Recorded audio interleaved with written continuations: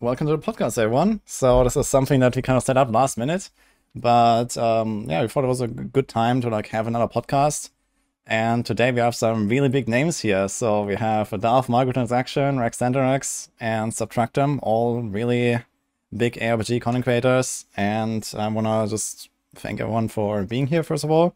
And I would like to have like maybe a short one minute intro from everyone, just you know to uh, you know show yourself to the audience that, that on all the streams. So let's start with DM and then Rex and Subtractem. Sure. Uh, I'm DM. I am somewhat of a variety ARPG Andy. I bounce between them as I suppose we all do. Uh, PoE is probably my home game at this point, and uh, that's about it. Try that fun. I'm Rax. I wear a blue hoodie. I play ARPGs. That's it. Uh, yeah, I'm Subtractem. I primarily do PoE stuff, but I have played all of the other ARPGs, and I do play them once in a while. And yeah, I'm I'm the old guy in the chat, I guess, so I have a little bit different perspective than the young guys sometimes. what was your first ARPG that you've played ever, Subtractem? Uh, I mean, ah, did I play anything before Diablo One? I don't know, but I mean, I played Diablo One when I was in high school. So uh, Diablo One is still something, there. yeah. I thought you were like 28 or something. When I met you in person, uh, I thought you were young. I will be 42 this year. Yeah. No shot, yeah. dude. You're looking good for 40s. Looking for good for 42, man. Oh, thanks. Yeah. Did you stay in the basement? No sun? Heck yeah. I mean, that doesn't beat Alkaizer, I guess, but. Uh, but isn't that like this meme where Alkaizer is like 52 or something? Like, where's that coming from, actually?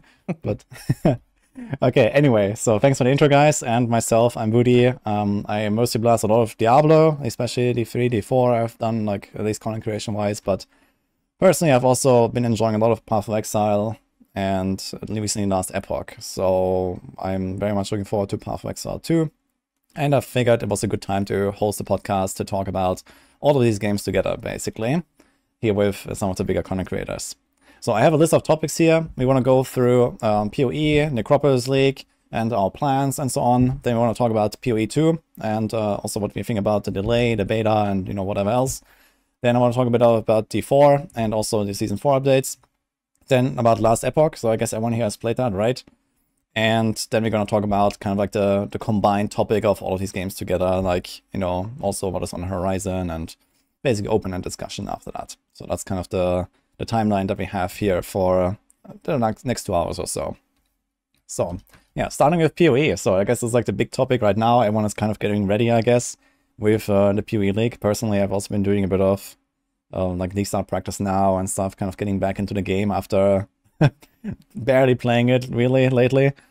So um, yeah, what do you guys think about the announcements? Maybe let's start with that. Which announcement you want to start with? Yeah, the, the Necropolis. There's a lot like, of them. Yeah, the Necropolis League, basically. So that's what I want to start with first of all. This is like the most immediate topic, I guess. It struck me as a large amount of content for one league expansion. I was surprised by how many both quality of life changes we got, how cool the mechanics seemed. Um, I haven't been around for too many leagues, so maybe this is like par for the course for them. But as it like my second league launch I've been part of, it's it's way larger than I was expecting for a league. I, I don't maybe Subtractem. You're probably the OG here. What did you think about the league launch? Yeah, um, I I love that you said that. Uh, that's why. Yeah, I mean POE to me like they spoil us. Um, in terms of the content, like I would say, yeah, the quality life stuff is a little out of normal for them. if we're gonna be perfectly honest, uh, dumping all that on us. But in terms of the size of the league, this is probably about average, maybe a little bit above average. Previously, actually, they used to once a year do an entire endgame rework. You can look up previous atlases. Like currently, we have the Atlas passive tree. Back in the day, they used to be very, very different. Whereas, like, okay, you got Shaper versus Elder, and you're like manipulating them around, or you had to connect, collect like 32 different stones and summon all these different bosses that then would summon Sirus. Um, they used to do that like once a year, once every year and a half. And yeah, this is just kind of par for the course where they spoil us with a very large mechanic rework that gives you something to really bite into for a few months. So yeah, um, I'm pretty excited for it. It's cool that they're doing another crafting league. Those are always kind of uh, they don't they haven't done very many. Harvest was the original one, and it's always potentially contentious with the complexity there and what it actually does, particularly versus Affliction League last uh, last league, the current one, where it was a big uh, like a big currency big currency dump um, versus now engaging in, in crafting and all that. But I, I really appreciate the contrast. Yeah. yeah. One of the things. Oh, go ahead, Woody. No, I was just going to say, like, it kind of like struck me just now that uh, I guess both DM and Rex have not really played that much PoE before, like, you know, like the most recent leagues. And, like, you know, what Subtractem just tell, told us with, like, you know, the expansions of the Atlas and the new end games and stuff like that hasn't really happened in a while, right? And I guess might not even happen again. I'm not sure if they ever said anything about more of that coming in the future now that PoE2 is coming. Do you actually know anything about it, Subtractem? or anyone else in chat? Is there like anything they hinted at that something is coming again? But about big endgame rework? Yeah, exactly. Yeah, oh, I was just talking with my chat yesterday. And we are like, we're on, we're like, when is 4.0 coming out? We're on 3.24 now, which is crazy. um, yeah. yeah, I don't know. It's it's uh very interesting that they've kind of been going down this path and just kind of iterating and the uh like the to me the atlas passive tree has been like the beta the biggest blessing and the biggest curse because it's such a dynamic great system that they're encouraged more to always stick with it and improve on it which is like it's a good thing. It's great. It's a great system. But i kind of miss the old all right we're to throw everything away and do something crazy and you know whole new game. Um and i i feel my instinct is that because of poe 2 they've been kind of stretched a little bit due to that. They're um you know they're kind of split resources and they're just kind of like more iteration on what they have right yeah. now instead of like big big reworks. Yeah, chat is My saying that apparently they're develop they are developing PoE two first, and then they're gonna devote more resources to PoE one. So maybe you're gonna see like you know a 4.0 at some point. I guess maybe next year or something. But Rex wanted to say something. Yeah. Oh, sorry. Go on. Yeah, Rex was going to talk for a while already. Sorry. Let's go, Rex. Oh, I mean, well, I mean, it's okay, but the thing that I want to add here that I I love about grinding gear games that and everything that they do, they seem to do this very consistently. It's like imagine if you were working at Grinding Gear Games and on the whiteboard they had an idea all right we're going to do a necropolis league it's like okay there might be some dead guys there might be some bear the guys that we bury but they they go seem to go all in with the idea every single time. Like, all right, you're gonna kill them, and then we're gonna cart them away to the morgue, and you're gonna see all their bodies there. Then you're gonna bury them, and then you're gonna dig them back up and craft with it. It's like the, the level of the level of detail and ingenuity and just the creativity that they have is insane, and it's consistently insane. And you know, even if the league doesn't go perfectly, like some people are upset that it sounded like in their discussion that they're going to like force the league mechanic on you in all the zones. It's like, ooh, I don't really know if I want that for the campaign, but I can forgive those things when I see the amount of effort that they put into making it great. That's something that I always respect out of these guys. 100%. I, I always like to say I'd rather them risk having a bad league by just going all out and being creative versus doing something safe and and kind of boring, just kind of mid. So yeah, I, like Lake of Kalandra, most people hated it, but Lake of Kalandra gave us Sentinel League, right? Like we had arguably one of the worst leagues and then arguably one of the best leagues. And I'd rather have the highest highs and you know not that low lows. It was still playable versus just everything mid. Mm-hmm. Yeah, like it reminds me of as like this like parody video from like many years ago where the, where like someone is like impersonating the devs and he's like dude like do you guys know that? Like where, where they like you know take like he's like imitating taking drugs and then like you know the creativity part that rex was alluding to like you know like you know like he's smoking and like dude yeah what if we do this? And like skill trees within skill trees, you know. There's a video like that. It's glorious. Uh, so some people might know that. But yeah, it's kind of like the, the creativity part that uh, Rax is alluding to. And uh, I really like that about PoE as well. Like they do crazy stuff. And I see it again with Necropolis. And I'm really excited for the crafting myself. I think DM wanted to say something earlier. What was that? I was just going to go back because we were talking about PoE 2 and about endgame add additions to PoE one. I was going to say my understanding of that is the gentleman, I believe Mark Roberts, who made the PoE one endgame bosses like the Uber Pinnacles, etc., is the one who is creating the PoE two bosses, and so his focus is there. And I was just going to add on to the pile and say, yeah, so I'm sure that more endgame would probably come in PoE one once the gentleman who's making the endgame for PoE one is done working on PoE two. It kind of makes sense. Yeah, but I guess on the other hand, we, we don't have like you know like a small team, I guess, of people that actually like you know mostly flesh out the endgame currently in PoE two, but then they also want to keep building on PoE two, I guess, right? And probably pretty rapidly. So, so will that really work out that way without really recruiting more people and you know like then also like onboarding them like you know long enough so that they actually get into the groove of making new stuff for the existing game? I think that might be a bit too optimistic, maybe. But you know, I don't even. I'm not really.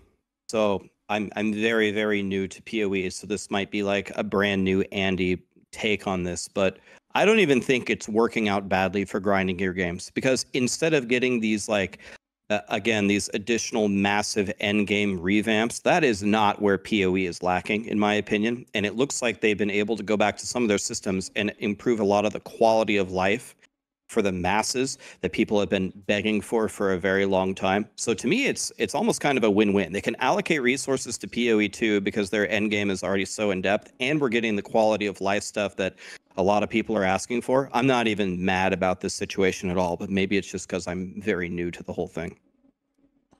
Oh yeah, no, like uh, in terms of me being disappointed they haven't done an end game rework, it's I'm at like a nine out of ten instead of ten out of ten. It's like it's still like yeah. all right, yeah, everything looks awesome. I'm I'm not mad. yeah, I, I, don't think it's really like that the current endgame is bad or anything like that. It's just more like you're kind of excited for like something new at some point, right? I guess that's mostly what it is. Like, okay, like we had Maven forever, we had, you know, the Eldritch bosses forever, and you know, like what is like kind of the next big guy, you know, the next big boss, or maybe like some new type of item or whatever, right? That is kind of like what such an endgame revamp would entail. And yeah, I guess, you know, the game is over in a good state, but something fresh would be nice. But I guess that fresh thing will just be PoE 2 then, whenever it comes. so. Did. I feel like we potentially did get some freshness to the end game in PoE 1, right? Didn't they actually add a couple new Uber bosses? Yeah, the T17 uh, stuff league. was cool. Yeah, yeah. Yeah, so we got literally a new tier map, and then we got a rework in the way that the Uber bosses work with fragments, etc., which I thought was a great change for the economy. Again, I'm new, so I'm figuring this stuff out, but it seemed like it was a problem at least I ran into. It's like, why would I run normal variants off of Uber-based pricing if I'm playing trade, for instance? So I liked, I kind of liked those reworks. I thought they were pretty fundamentally good changes, at least from what I could tell. Yeah, for sure, I agree with that. I'm actually very happy to see like that is like this, you know, um, like switch between Uber and normal bosses and also like loot basically, right? I think that was like a huge mistake, I guess, that they made there. Like personally, I wasn't really like a big boss farmer, but I was like, you know, I saw it immediately back when they made these Uber bosses, and I was like, okay, everyone's gonna farm the Uber bosses now because it's just better, and this is exactly what turned out, and now they finally fixed that. So I'm glad to see that this was actually changed. Agreed. Yes. But yeah, I, personally. I'm also excited for the T17 maps. It sounds like these maps themselves are already going to be quite a challenge. And then there's also like a boss attached to the to that map, right? It's going to be like some kind of like, I guess not exactly Uber boss, but it's probably pretty, pretty tough. So um, sounds like, you know, it's definitely something exciting to like dive into. Yeah, I agreed. I'm looking forward to the challenge, though. I it, it will make it a little bit harder. I feel like right to get to Uber bosses on solo self found. Now you got to do it through the tier 17s, but I guess that's part of it. It'll be kind of fun to see if it's possible for me. Especially my starter got nerfed. I guess Bone Shatter is not exactly in the best in the best state right now. I don't know how overhyped that's going to be, but I heard that that got nerfed a little bit. You guys know your starters? Oh yeah. yeah. so well, what is ready. it? Um, yeah, I was originally gonna do a ball lightning mana stacking, and uh, everyone's like, I was planning that weeks ago, and then uh, the rework to Archmage actually made it potentially a really, really good starter. And because I just have the the hipster in me, it actually made me want to play it less. Weirdly enough, so I'm actually going back to my Frostblink Ignite build that I'm going to be making a Maxroll guide for it anyway. And I, I really like to play the same build that I made the Maxroll guide for because I can kind of play along with people that are following it and that's going to be uh, that's just a really fun solid build just ignite elementalist as an archetype is really really strong you know the most popular one in like hardcore solo self found would be detonate dead it's just a very powerful archetype for you know early game league start it's just uh just really really efficient Sounds fun, yeah. I heard about ball lightning and archmage being potentially really strong. So that sounds exciting. I've never played ball lightning myself. But personally, I'm actually planning to do DD. I've never played it and I want to go hardcore and try to do all the Ubers this time. Uh, I've done them on softcore a bunch of times, but never on hardcore, so I figured this would be like a good league to try it, uh, especially the tier 17 stuff, so I'm going for that. Nice. Yeah. So I'm very, very clueless and I'm getting pulled in every single direction. What what I really wanted to do, one of the most fun builds that I've ever played in my very limited time is Bone Shatter Jug. That's what I wanted to play. I played it in the Gauntlet. I loved it. I wanted to uh, play it a lot more this league. And then I watched Karn's video, and that made me very sad because Karn made it sound like the world is ending, and Karn's a smart guy. So now I'm crying. And uh, my chat's telling me Bone Shatter's not even that good for bossing anyway. Then they say the best choice is Detonate Dead, but don't play Detonate Dead because everyone plays Detonate Dead. so go play this build, and then a 300 chatters say that build's dog shit. Play this build, and then the other 300 say no, that one's dog shit. And it's just like, um, I I'm very confused. I have no idea what to do. I have no idea. What, was the nerf so huge to Bone Shatter? What, what happened exactly? I'm not 100% It's pretty aware. rough. Yeah, it's pretty rough. I mean, they go on, Rex. I think one of the problems is, is that the war cries used to be, if I'm understanding this correctly, the war cries used to be instant from the passive tree, and now you have to grab it from a gem, and there's also a mana cost reservation. So it's a mana issue and it's a gem issue, and Mm. those are two things that Bone Shatter really has almost no ways to solve. Yeah, okay, I you see got socket pressure. You just run out of sockets, really, unfortunately, at the moment. Yeah, the left mouse thing and all that automation stuff is they they said it. They said that uh is it was a miss. There there's solutions to it. It's like yesterday I did a I did a test run um just to Act 5 and I I made sure I didn't put my steel skin on left click anymore and I was putting it on W and it was just you could feel it was just a mechanical downgrade to uh to playing. It was like, okay, well I can wait until I can get cast when damage taken, but normally steel skin you also want to use it to remove bleed and it was just so convenient to have it on left click. And like yeah the automation support's there but like like Rax was saying like the sac- socket pressure mana cost it just it just feels worse. It's just overall feeling worse um Yeah, which is unfortunate because those those support gems are cool. They enable some really cool things. Like brand recall looks insane.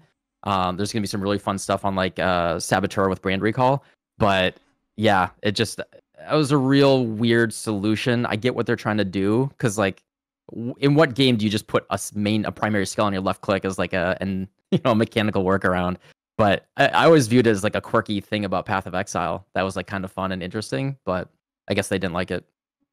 Yeah, I mean, personally, I'm kind of on board with the change, but I think what I should have done is like make the gem actually good. You know, like it seems like it's just a nerf, right? Like you have like the same, like I think it even has like reduced cooldown recovery rate or something as well, right? It's, it's actually just a nerf using that gem compared to before where you didn't need a gem and you had the autocast.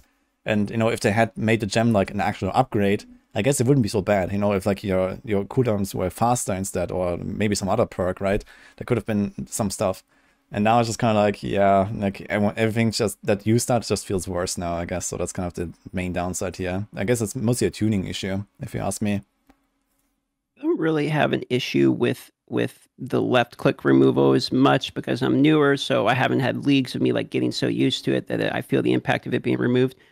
The one that hurts for me is the war cry because like I did Bone Shatter Jug last time. I liked it a lot. It was the farthest I got, so I want to do Bone Shatter again. It's the instant notable that got removed for the war cry. That's the one that like I'm I'm feeling a little bit Mhm. more than the than necessarily the left click.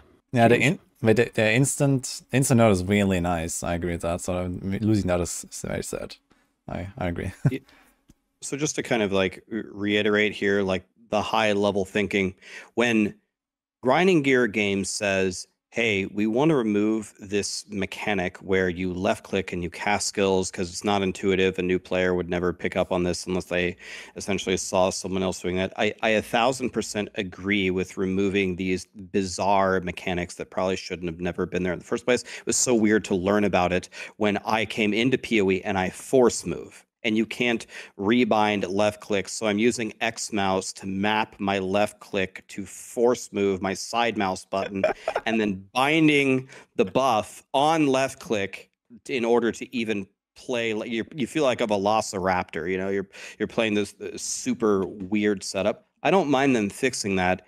It's just sometimes, you know, if this happens to everybody, is sometimes you win and sometimes you miss on the solutions One thing that this is one of the scenarios where I don't have it in my mind. I think a lot of people think this that content creators feel like they have all the answers all the time. They don't. And content being a content creator does not mean that you are a developer either. A lot of the content creators, like myself, for example, might be the worst game developers ever. But I have seen multiple times for other games where a company is trying to fix a problem like and it's going to have a big impact to the community and they'll run it by the content creators and a lot of them you know after seeing this announcement were instantly able to pick apart why it bricks so many things. So i think one thing that grinding gear games could have done is maybe asked a few more content creators what kind of an impact would this have on all these different builds and will this be fine to solve? Because it sounds like a lot of them picked up on it right away me not being one of them um, that it's going to break a lot of stuff. Yeah, I think in, that's something that in general GG could probably do more of, right? I'm not sure exactly how how their like beta and alpha testing of leagues works, but I know they have like some small testing program that's like secret. But I think most of the content creators are not actually part of that, right? They probably have like some kind of like small player program or something. But yeah, it seems like sometimes these things kind of like get through the cracks and then it makes it into the game and everyone just hates that change, right? And you could have avoided it, I guess. So uh, I, think that's yeah. a good point that Rax is making. It's like, for example, something that um, I guess Blizzard probably does a bit better there. Where at least from my personal experience, you know, being like you know Diablo, like you know, having a Diablo affinity and, and Diablo, Diablo partner program and stuff. Least. Yeah, in Diablo 3, Diablo we always 3, had these, yeah. these round tables, and there was like, you know, Rax and me and some other guys uh, chilling with, with the developers very often, and we would, we would talk about stuff. And, you know, very often there would actually be some actually good changes coming out of that to the game. So yeah, or like at very least, it would prevent a catastrophe. like, that, that would happen. So yeah, I guess there, there could be like you know some better like consultancy earlier, maybe with with like content creators or players, or like uh, you know high level players. It doesn't have to be content creators necessarily, right? I'm not sure how GG does that.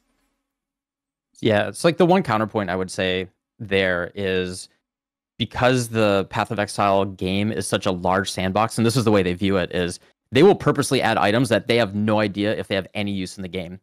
And they will just toss them in there and many times it'll be like 3 years later there'll be one patch note and then some someone will remember that like oh this item was really bad before but because of this one patch note it actually I can combine these items and get like a 0% cooldown and break the game. And that's like the way that they view the game as well, where it's just sandbox and they are willing to absolutely break things. Try to, you know, try not to make things blow up the servers or anything. Um, but they're willing to make those kind of changes. So, for example, they've made changes in the past where uh, it will like uh, one of the most common league stars. I mean, the most recent example to me is Impending Doom, uh, where they changed the way that Awakened Spell Cascade works, and you can't get the same overlaps that you used to as easily. And it it literally made it not a viable league starter. And we didn't know it was like one of the most common ones. It was getting hyped up and they just deleted the build from the game effectively. and they actually like so many people had league started it that they, everyone cried after you know I guess verifiable uh in justifiably everyone cried that league started for the first day and then they're like okay we're gonna undo that change for this league but it's gone next this build is gone next league it is gone um, because we don't like the way that this interaction works and they are willing to just say hey this is the direction we want to take the way that these things work uh, yeah, you played this one build for a while, but they don't view any build as sacrosanct. It is always like, hey, this was a cool thing. You were able to play it. Like Cold Dot. Cold Dot is one of the most core builds that has been around forever. It blew my mind that they just said, yeah, Vortex no longer good on left click. Like you can't do it. And that was like one of the core things that made it comfy to play.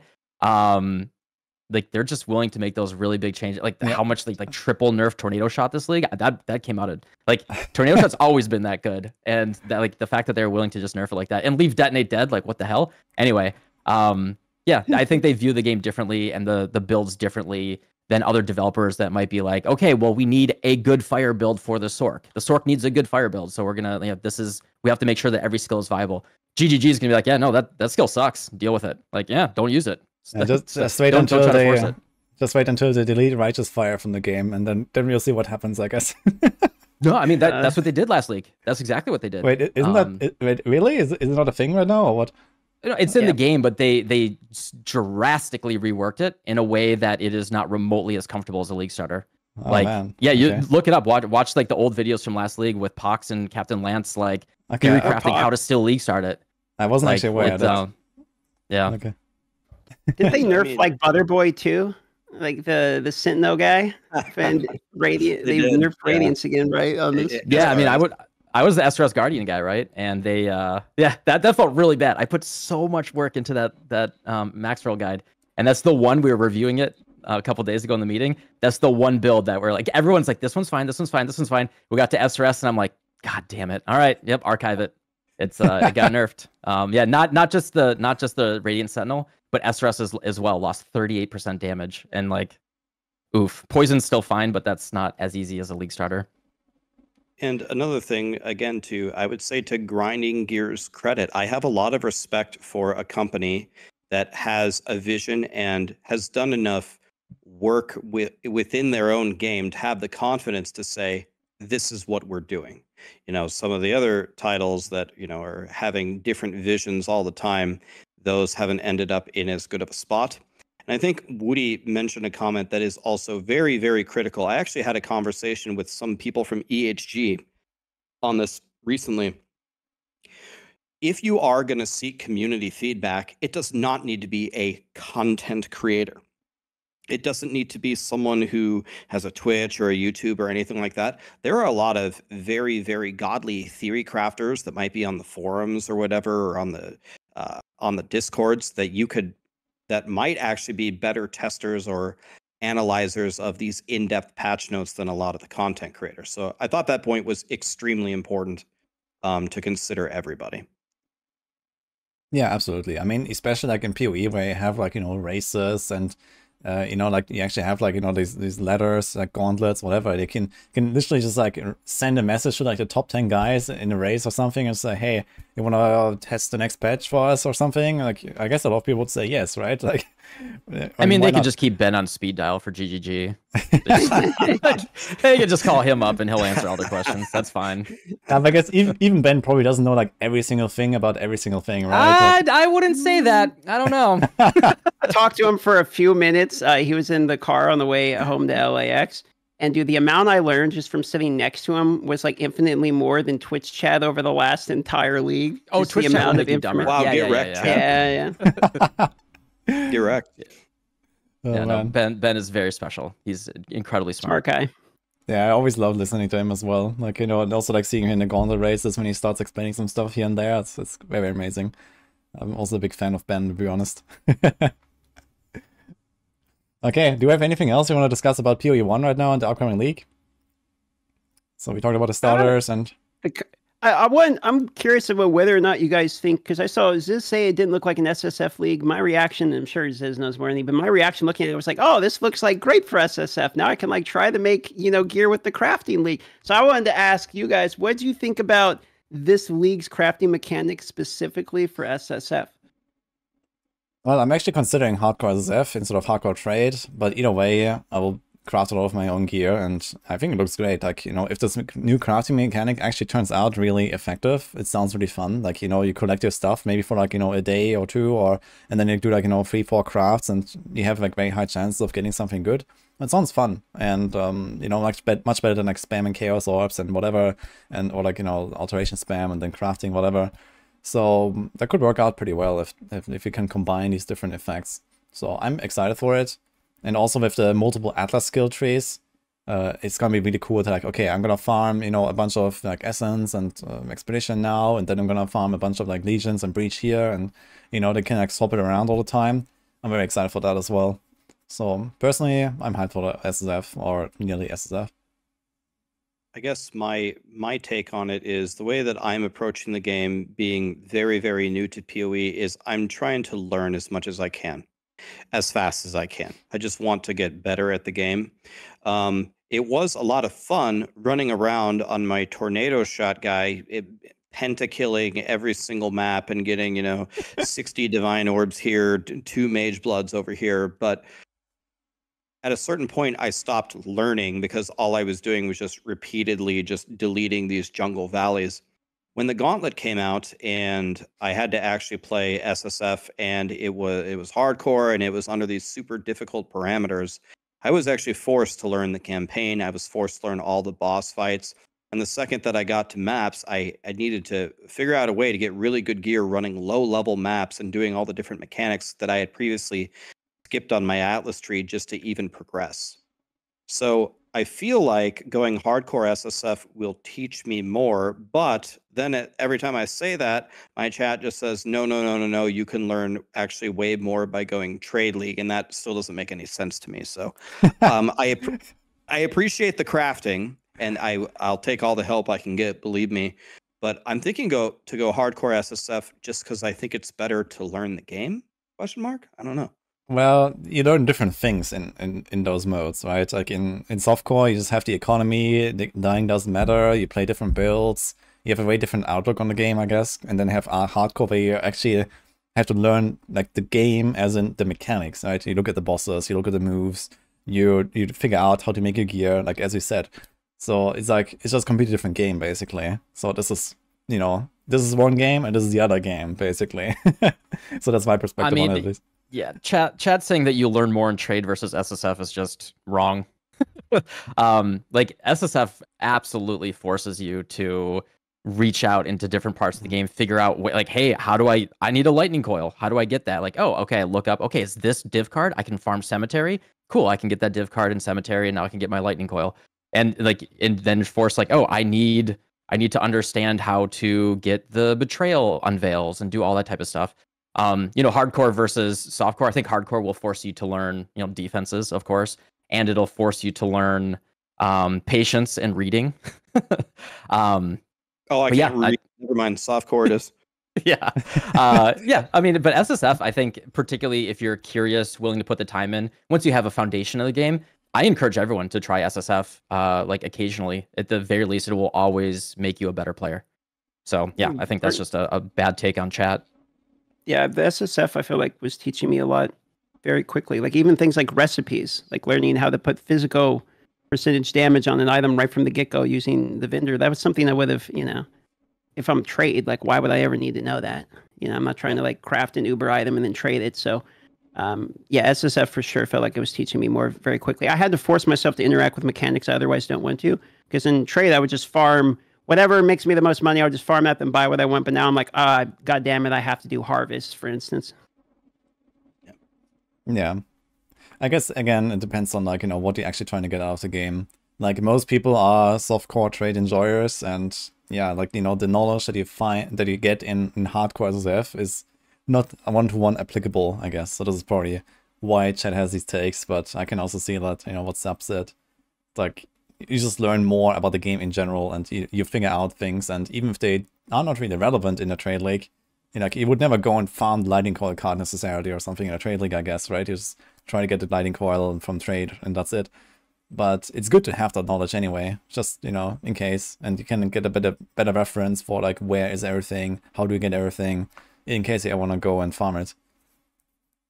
Yeah, I mean, you can make the argument as well, just to make a an excuse for a softcore trade that you know interacting with the economy understanding that type of stuff that is that is part of the game right? Like it's you can't just say that that's not a skill in the game or anything. There are people that just i sit here and i alteration spam certain things and i make mirrors doing that and that is a thing that is the game. Um you know the kind of the beauty the beauty of arpgs is that you set your own goals and you can make your own choice in within that and there are people that arguably win the game by never leaving their hideout, accruing mirrors, and then buying alt arts in standard. Like that, that is a way to play the game.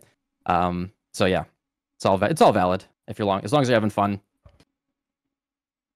Yeah, well said, I guess. Okay, I think we can move on to um, the next topic though, unless someone else has any last comments about PoE one and the Necropolis League. So I want to talk about PoE two. And uh, well, we have at least two people here that actually got to play it lately in Los, uh, Los Angeles. Um, I'm not sure if they invited Rex. I guess they also invited you, but I know that he didn't go. And personally, I also didn't go. Uh, it was just like too far for me. Like I, I decided, like you know, 30 hour travel one way is it's a bit rough for like chilling with the boys for an afternoon. So I was like, okay, I'm gonna play two months later in the beta anyway yeah, here we are. so, yep, get screwed. Yeah, yeah. Guess what? Eight months from now. yeah, snooze, you lose, Woody. Yeah, unfortunate. but yeah, um, maybe uh, especially DM and Subtractem, we can like maybe talk about about um, your experiences. I also been watching like a lot of your uh, the videos that people put out. I think I watched DM. Uh, I'm not sure if I watched Subtractem, but um, yeah, a bunch of people put out like their their playthroughs and talked about them, and it was really cool to see. But maybe you can give us some more like you know hands-on experience that you gathered. Sure. You want to go first, Subtractem, or should I? Ah, go ahead. Sure. Uh, so in the beginning, I didn't have we didn't have a lot of time. So like I was actually in LA less than 24 hours, and the amount of time that we had of actual gameplay was about four and a half hours. And I want to preface like everything I say by the fact that we only were able to get part of the way through Act Two. I don't know if anyone actually made it to Act Three. Maybe somebody did, but for me myself personally, made it all the way through Act One, part of the way through Act Two. And uh, because of that, I think our experience is like fairly limited. We didn't we still don't really know much about in-game and PoE 2 if like really anything at all at this point. I don't know if maybe I missed something, but I haven't seen them discuss it much. So most of our experience was only sort of early game. Um, but overall, I just to give you a general take on it, I thought I was going to like PoE 2, but I was unsure. But after playing it, I left being like, I'm really going to like this game. Like, it is actually highly enjoyable, just from a gameplay perspective. I found me enjoying each individual fight more than I enjoy each individual fight in Path of Exile 1, for instance. And I felt like they kind of focused on different things, whereas the combat feels like you intentionally need to be knowing what you're doing in terms of like positioning and fighting. Like literally every fight. To give you an example of this, for instance, surrounding is like a thing, right? So you can get surrounded and then die like it's D2 again. So I found myself having to like focus much more than I ever really had to in, in, almost any other ARPG at the moment. So I mean, my initial impression of it was like it's hard, and I like that. And easily the best thing in is like the boss fights are fantastic. I mean, from the from the beginning, like all of the boss fights are really good, like surprisingly good. So I, I mean, I have nothing but pretty much good things. There's some complaints I have for sure, but mostly I'm gonna have positive things to say as we get into it. What what class did you play again? Play warrior. Yeah, yeah. Um, uh, so I I 100% echo basically all of that. With the uh, unfortunate uh, downside is that I played Sorc, yeah. and the Sorc is unfortunately it's just very undertuned. So like it's a thing that they can fix. Um, I think they will fix it. The feel of the skills, the look and feel of them is really cool. Uh, like it's very combo, and this is just it's so contentious for PoE one people. Um, but I, I so the game is very uh intentional like dark souls is a very fair comparison with this game where you actually like walk forward they start an attack you actually back up you can roll you can dodge roll actually through something like you actually like bloodborne skills actually translate where okay i actually want to roll into them under their arm and then hit them from behind and you, actually have this real intentional gameplay that's very thoughtful but the uh coming from traditional ARPGs, like I, I think it's awesome that they're making such a big change, but I don't know how that translates into a blasting game at the end. And like, it, can they keep that and keep that soul of that and make it fun for doing hundreds and hundreds of hours with that much intentional gameplay? Like, I I love Souls games, and I've beaten most of them multiple times at this point. But I don't want to sit there and grind Dark Souls one. I'm not Lobos Jr. Like, I'm not going to grind Dark Souls one for 12 hours a day every single day. and I think that's that's um if if they keep that feel all the way into the end game where because like the the the actual like white mobs and the trash mobs were an experience like that was a, a very different experience like my comparison was undead burg in dark souls 1 where your first experience you like you walk up the stairs there's the bridge right there and you're like all right i'm just gonna walk across the bridge and there's two skeletons to your side that if you don't take them out or you don't know how to dodge roll their arrows that are coming in, you're just done. You're just dead right there. You get stun locked on the bridge. You're like, well, F this game, uninstall them out. And but if you you know you stick through it and you push through, you figure out how to take on the encounter. Um, you know, it's very satisfying. And that's such a different mental shift for from how we usually play these ARPGs where trash mobs are scary. Yeah, just as DM said, like you will get surrounded. Like I, I had a clip in my playthrough where uh, a couple guys were coming to, from my side. I turned backwards. I started walking backwards, throwing my fireballs, and then five werewolves jumped on my back and just instantly killed me. And yeah, everything is always scary. At least in Act One, everything is always scary all the time. It's it's a different game. I had a lot of fun with it, but I I uh, they're taking uh, you know a risk, and I think it's a cool risk. But they're mm-hmm. taking a risk by diverging so much from the traditional formula. I'd yeah. be curious. To... Sorry, go on, Woody. Oh, I was just going to say, like, I, I've watched, like, uh, I don't know, like 10 different content creators now or something, like, you know, with this um, playthrough and also, like, some of the other clips that we had, like, with, like, some Druid clip and Hunters clips from back then and stuff like that. And it definitely looks like this, like, really slow, really tough game that you have experienced in Act 1 seems to like progress very quickly though. Like we saw this, for example, like I, I watched Kaiser, he go he went into Act 2, he got leap slam, and then he started leap slamming into packs. He was like three times faster than before, one-shotting packs with leap slam, which was maybe overtuned or something, but like even if he didn't one-shot them, he would stun them and everything was suddenly much safer. And then this whole like, you know, this active like dodging and like, you know, this positional combat definitely kind of takes a step back at that moment, I think, like what Subtractem just explained. And I think it's kind of cool that they're starting with this kind of like, you know, very, very kind of like slow, really tough kind of combat, which, okay, might be too tough with what we saw right now. Uh, you know, you don't want to like, you know, make people quit right away, but it, you're gonna feel the progression much more. There's a lot more room for progression, right? So even if like late game, it translates into like this blast mode, PoE one style, where like you know maybe not blow up entire screens at once, but you know like you're gonna one shot most trash, and you're gonna go at a really fast pace, maybe like you know two three times as fast as at the start. Um, you know you, you can have a lot of this like blast mode like gameplay later and you're gonna have like a real nice progression curve, right? Where you actually go step by step and okay, now you unlock unlock that skill, and now you get your feeling, and now you get your falling, and you know, like you have to see that most of these playthroughs were actually done on a one link, right? Like imagine you go into PoE one, you have a one link skill, and it's basically ruthless, right? Where you just like whack away at enemies and everything is super dangerous. So yeah. I think if they don't make it too hard to survive, but you know, kind of like, you know, have this like uh, intentional combat moves and dodging and, you know, there's a bit of back and forth. And then later on, it kind of takes a step back, but you still do it like sometimes on the boss fights or sometimes when it's a big rare pack, but not on every single trash monster. I think that would probably feel really good actually, because there's going to be like these moments where it's like, okay, now I have to pay attention, but otherwise you're kind of like blasting. And if, you know, if they find like the right frequency of that, it's going to feel really cool, I think. Yeah, yeah I, I mean, Waz, WASD felt. Yeah, go ahead. Go ahead. Go ahead.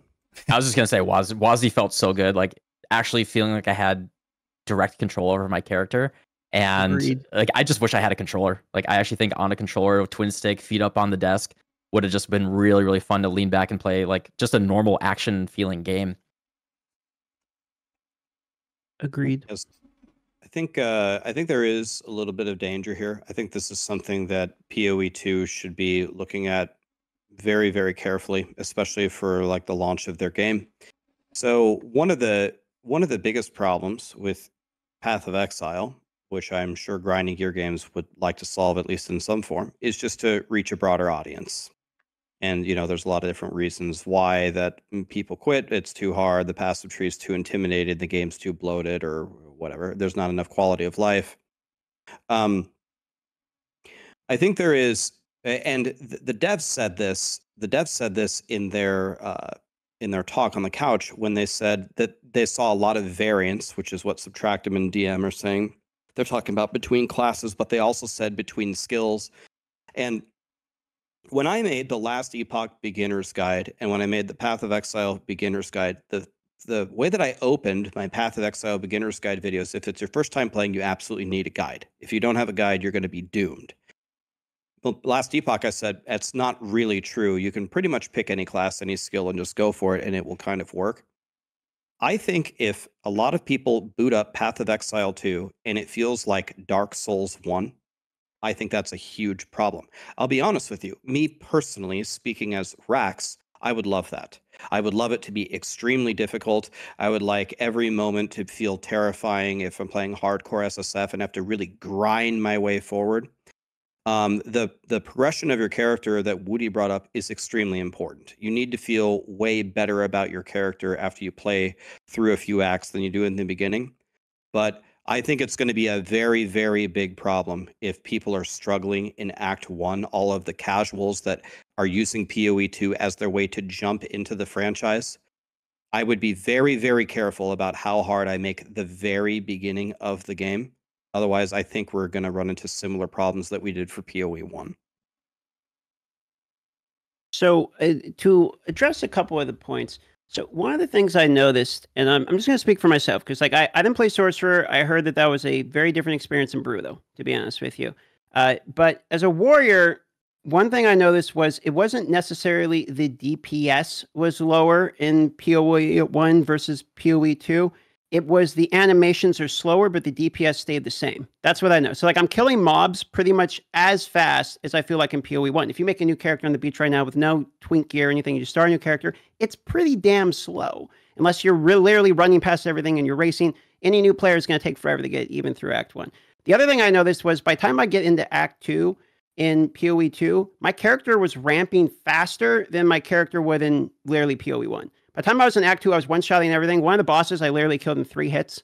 Like I was just, I was going fast, and I didn't have like giga gear. I literally didn't have one ring, and I didn't have a belt. All my gear was blue. I had one like yellow glove that just had resistances. So I didn't have like crazy gear. I think where the issue may potentially arise is if in the late game you want to feel like strong, you're going to have the DPS. It's the animation casting time that makes it feel slow. But it feels to me like, okay, it takes me 2.32 seconds to cast Sunder, for instance. So while I'm casting that, the overall time for the DPS, it, I'm doing the same damage. It's like I'm literally one-shotting mobs. It's just that move takes so long to get out. That's the movement and the animations that are slower. So I'm not quite sure if it's like the base damage is higher for everybody, and then we're going to be focusing more on reducing like your casting animations, so that way you can kind of blast through. Or if you're going to have to really focus on like canceling animations, because you could, for instance, rolling slam. I could do a two-hit slam. I'd do one, I'd roll out of the second slam. That way I could continue the move and it would cancel the slower second part of the animation. I was still one shotting anyway. So I don't know if like movement tech's going to become a thing, but I definitely noticed that I felt like I was ramping. Even by Act Two, I was ramping. And eh, I don't know if it's a warrior thing in particular, but I was like one shotting literally everything with like half of my gear equipped. So I wasn't so, I wasn't as worried about it as I saw the progression happen. Sounds like barbarian flashbacks all over again, man. From D4. like it starts very slow and then suddenly you have your four weapons and you know kapow bonk and uh, that's it. Yeah. the part that yeah, felt I mean, bad in... was sorry go on. Oh yeah i was just gonna say in poe old school poe 1 we used to have an archetype um, that Alkaizer used to play a lot uh, but it's just out of the meta for a long time which was just use a very slow big two-handed weapon. Like we have this there there's a tag on certain uh, attacks that might people might not know exists and it's called a slam attack they just people don't really play them anymore. And you would use a really big, slow two-handed weapon. You'd do your war cry so you could exert that attack, and you do one gigantic slam, you know, Sunder or Earthquake or something, and just destroy the entire screen, light it on fire, tectonic slam, all that. And it's a really cool archetype. It's just very much out of the meta right now. And yeah, I wouldn't be surprised if they're just really trying to bring that back in PoE 2 as well. Yeah, personally, I'm a big enjoyer of slams, actually. I've, I've played some slam builds in the past as well, so I'm, I'm really looking forward to that, actually. What I saw from the Warrior, it looks really cool. And I think one thing that we have to keep in mind is also we only saw three classes now in this like latest preview that people got to play. And I mean, there is duelists that will have, you know, the steel skills and whatever melee attacks, and those will be faster than those warrior slams that we saw, right? And similar, we have like, you know, like uh, Ranger that maybe has like, you know, a Raider Ascendancy that is also going to be melee themed, or we have Shadow that is, wasn't there, that would also have like dagger attacks. And I guess you, they, they intentionally made those slams really slow, that like DM explained, but later on you're also going to have extra attack speed to make it feel faster, but you still want to have like a baseline difference in the feel between those different builds and those different skills. And I think this is probably like why it is that the way it is, right? And if they can actually bring back this like super hard hitting, like just kind of slow playstyle, that, that is an archetype that is really fun. Like for example, this stuff like what is this skill called? Perfect Strike, I think, where like you charge it up and you release it at a at the right time, kind of oh, like the snipe that was skill. so terrible. I hate man, that move. Dude. I was I was looking at that skill and I was like, man, I really want to play this right now. Like this this looks awesome. You know, like I was like, you know, you charge it up, you release it at the right time. It's like I don't know. It kind of reminds me like there's like these old Need for Speed games, right, where you have to like um, shift gears in the right moment to get like a speed boost or something. It was like, yeah, this is exactly like that. You know, like you have to hit the timing. and I'm so looking forward to that actually. yeah, yeah, Alk was saying that Perfect Strike is like a like a frame perfect one. Like there's one frame in there that just does like a billion damage, so it's quite literally a perfect strike. My biggest problem with the animations aren't so much like the damage that I do by the end of it, I'm totally satisfied with one shot stuff. but the problem is you get interrupted so often. So you're trying to do like this literal two second casting animation, go make a sandwich while you're waiting on the thing, and then the bugs will walk up and like just tap, and it's like, oh, got to Hmm. start over, I guess. And so you're rolling the way they did it. Was the it was the canceling of animations that felt terrible. So maybe you need you actually have to worry about a defensive layer of like stopping stuns or stagger or something in order to deal with that. Yeah, the, the incoming stunts definitely seemed like a problem. I think this is something that a lot of people complain about, and even just watching it, it seemed frustrating already. Like personally, I, like we had exactly that discussion in Diablo 4 a lot. Like when when it launched, a lot of people were complaining that monsters do so much crowd controls and all that stuff, and I was like, yeah, it doesn't really seem that bad, but I guess people don't like getting CC'd, and then they nerfed it, and they nerfed it again, and they nerfed it again, and now we don't have CCs in the game basically. But uh, in in PoE two, when when I just watched that, I was like, okay, that definitely seems like too much. like, whoa, and uh, yeah, like I guess like especially you haven't played it. Like I'm not sure how was that for the Sorc. Maybe Subtractem. Oh, it was god awful. Yeah. Um, I, I was. That's funny that you say that. I was actually thinking of Rax's video, uh, like the early Diablo 4 video, like the number one problem in Diablo 4, they need to fix crowd control, and that's actually exactly what I was thinking of when I was playing Sorc, because they had to, uh, yeah, every because I'm a Sorc as well. I I have a little bit lower HP, and I'm supposed to be staying away at range. But I, I was I was like, okay, I'm gonna use cold skills. I'm gonna chill them. I'm gonna freeze them but I had like a literal two second cast time on some of my skills. Like the one of the combos was throw a frostbolt and then you would cast an ice nova off the frostbolt to try to freeze the enemies. But by the time like the chill was so ineffectual, by the time the frostbolt was in range to then start my ice nova cast time, there would be 10 bugs in my face. And I'd just be like stun, stun, stun. Uh, and then I just like roll backwards and like, okay, that just gives them an opportunity to get behind me. And now I'm just surrounded. It uh yeah, Sorc felt really bad. I think I think they could have tuned that. I was talking with my friend last night. Like, at what value? What value does stun, particularly in this context, really add when you're already taking the damage? Where, like, if you're strategically already positioning yourself properly, then, or, or if you improper improperly, your consequence can be taking damage, and like you'll die because you took that damage. But if you just get absolutely crowd controlled and you can't do anything about it, besides you shouldn't have even walked on that screen in the first place, where you didn't know there were ten bugs coming in your face then it actually feels less strategic and just like super super punishing. So yeah, could be like a cast speed thing, could be a damage thing, but the stuns in addition to that, oh god, it was it was rough. Yeah, so the like to add on to that, the entire idea of game development, right, is to create problems for the player to solve and solve them in cool and interesting ways. When Subtractem is in Act One, standing a football field away from the monsters, and he's playing ice to frost nova them in place. And upon doing that combo, the result is 10 bugs in his face. And then uh, what is the solution? You're constantly just constantly backpedaling in order to engage in a fight. That's uh, probably not what probably not what they're going for. So I say all this understanding, you know, this is a very, very early early test. This is an alpha test they literally said in the dev like couch interview that there's a lot of things that they want to change. They're actually delaying the beta because it's not at a point that they want it there. But everything that i'm hearing if i was a member of grinding gear games i would find very very concerning the- literally everything that dm said i would find concerning. Where okay i'm struggling in act one but in act two i can one shot everything with bad gear. And by the way i have this attack where it's like a dual hit but i i roll cancel mid animation because i only need the first part of my hit with bad gear to one shot everything. Um it and then the infinite stuns and then i have a three second cast to do one thing. It's like it's so great that all of you guys love slam builds but i don't think the vast majority of people want to log in on warrior on day one and do a three second cast. How many months have we spent in diablo 4 of people saying i'm so sick of doing generator generator generator generator upheaval and i guess in poe 2 at least it's killing them but the upheaval brings them to 70% and then you go again generator generator gener- like the whole i haven't played it i understand it's an alpha they said it's a problem they're going to fix it but the whole user experience that you just described is just nothing but red flags to me that they need to address Really funny that you mentioned that because Uh, the other issue that, that these are just my two main issues. I want to, I do want to say, I really think there's tons of potential. I think it's going to be a great game. But my other main issue was as Sorc, the mana sustain was near zero. I basically had to port back every other pack of Oh, monsters to get my mana back. So you get a default little ding ding attack on your weapon.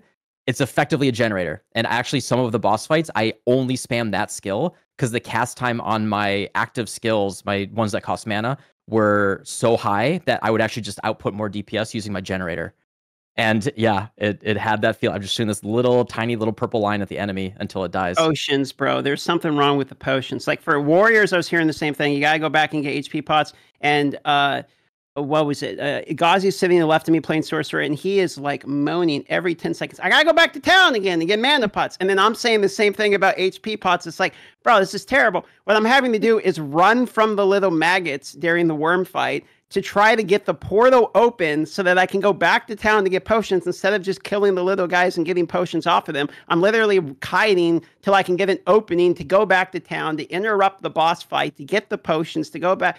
The potions were like not correct. And maybe I was doing it wrong. Maybe I had to buy them, but it's like it seemed like a unanimous feedback I got from everyone. Where it's like there's something wrong with the except rangers because you could just generate potions, I guess, over time. But Yeah. sorcerers and warriors were were not enjoying the potion ability for sure. Yeah, listen, we heard your feedback. We're gonna disable town portal in boss fights. How about that?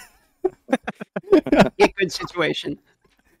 No, but uh, to be real, yeah, I, I guess that, that is a huge problem. Either it's like the mana pots or it's the health pots. I guess they can solve that with like maybe a bit more like you know tuning on the the cost of spells, at least for the mana side, and maybe like some more tools to solve mana early on. Maybe they can like put mana regen very early in the skill tree or like the passive tree, or there could be like a clarity aura. I'm not sure if that even exists in PoE 2 right now. Like, I know there was like heralds, but I guess you get them in Act 2 or something, but I'm not sure about clarity, for example. So there are tools like that, at least in PoE 1, where maybe you could have a more base region and yeah, it's just better tuning, I guess. It's mostly a tuning thing, I believe, that uh, they have to get right there, and I guess they're, they're very far away from from getting that right. So Yeah, I think like we we actually know I did find one. I had a mana flask that had a suffix that generated a flask charge every three seconds or something. Basically, the ranger node, and I think it's just it's just the problem that Rax was saying earlier, where Act One, it just feels like Act One is tuned in such a weird way because everyone that got to Act Two, unfortunately, I wasn't able to get to Act Two because there was a bug progressing past the executioner. I had to kill him Oh, no. five times. Yeah, yeah, I had to kill him five times. I called over one of the devs, and he was like, "Yeah, you just gotta keep trying." um, so I got stuck at the end of Act One. I didn't get into Act Two. Took me And- three times. I had the same bug. Yeah, where the three window times? Yeah. door didn't open. Yeah. I ran out of time after five. Uh, it it just it feels like Act One is tuned in a way that is may, maybe that's just their ruthless vision, and they're like, okay, Act Two, welcome to the fun time, and maybe that's just I don't know if they want to do that. They I think one of the biggest problems with PoE one right now, just as Rax said, like the the rhoas in the mud flats, like I.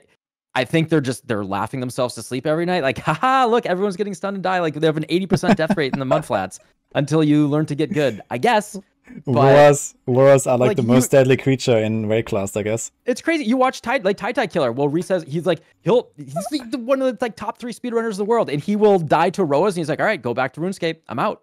Like that's crazy. When one of the best people in the entire world dies so sick, and like you know the brutal world of Wraeclast is unforgiving.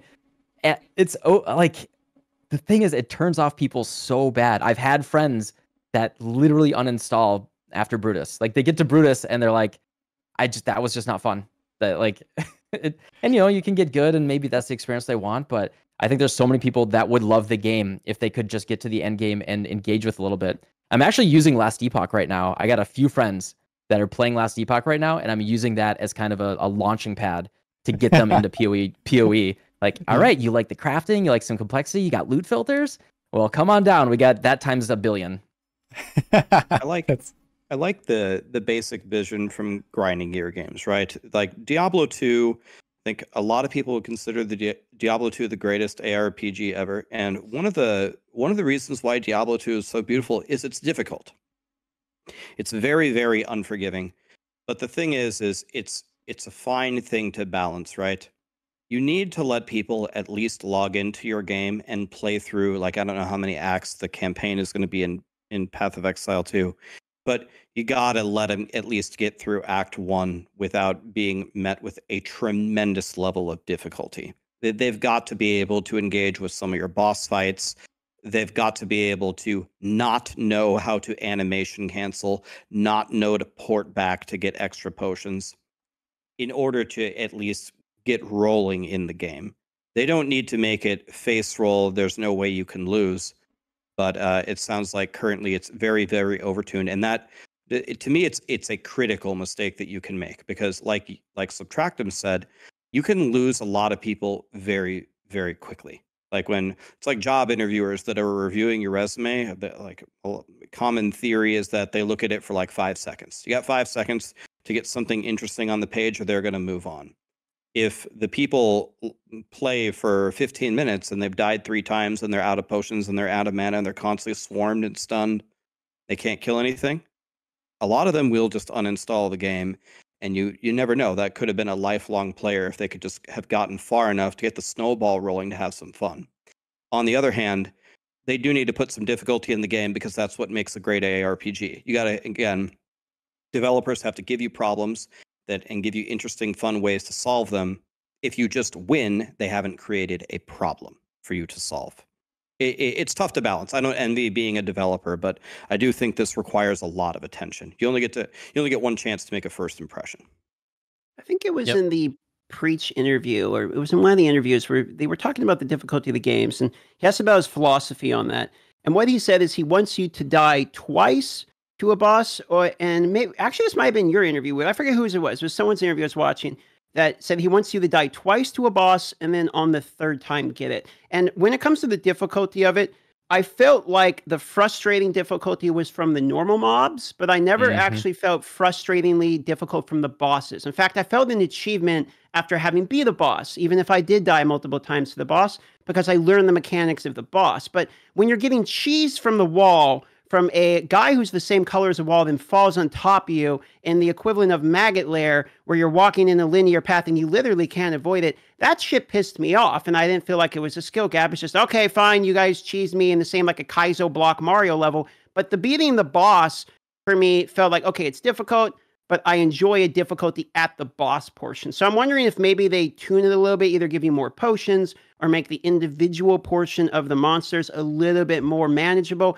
but the bosses they keep at the difficulty. Because I really thought the bosses felt I don't know how you feel about the bosses subtracting, but all of the ones I did felt like this is good. Like the the the balance of the bosses felt very fair to me. Love the boss. Yeah, I have no notes on the bosses. They are the the highlight, by far the highlight. And th- that's actually what has me the most excited about the game is that executioner boss specifically. The intro with him just like cutting someone's head off, jumping down, the sound like swells and you get this big boom when he lands on the ground. His gigantic sunder, how well telegraphed absolutely everything was.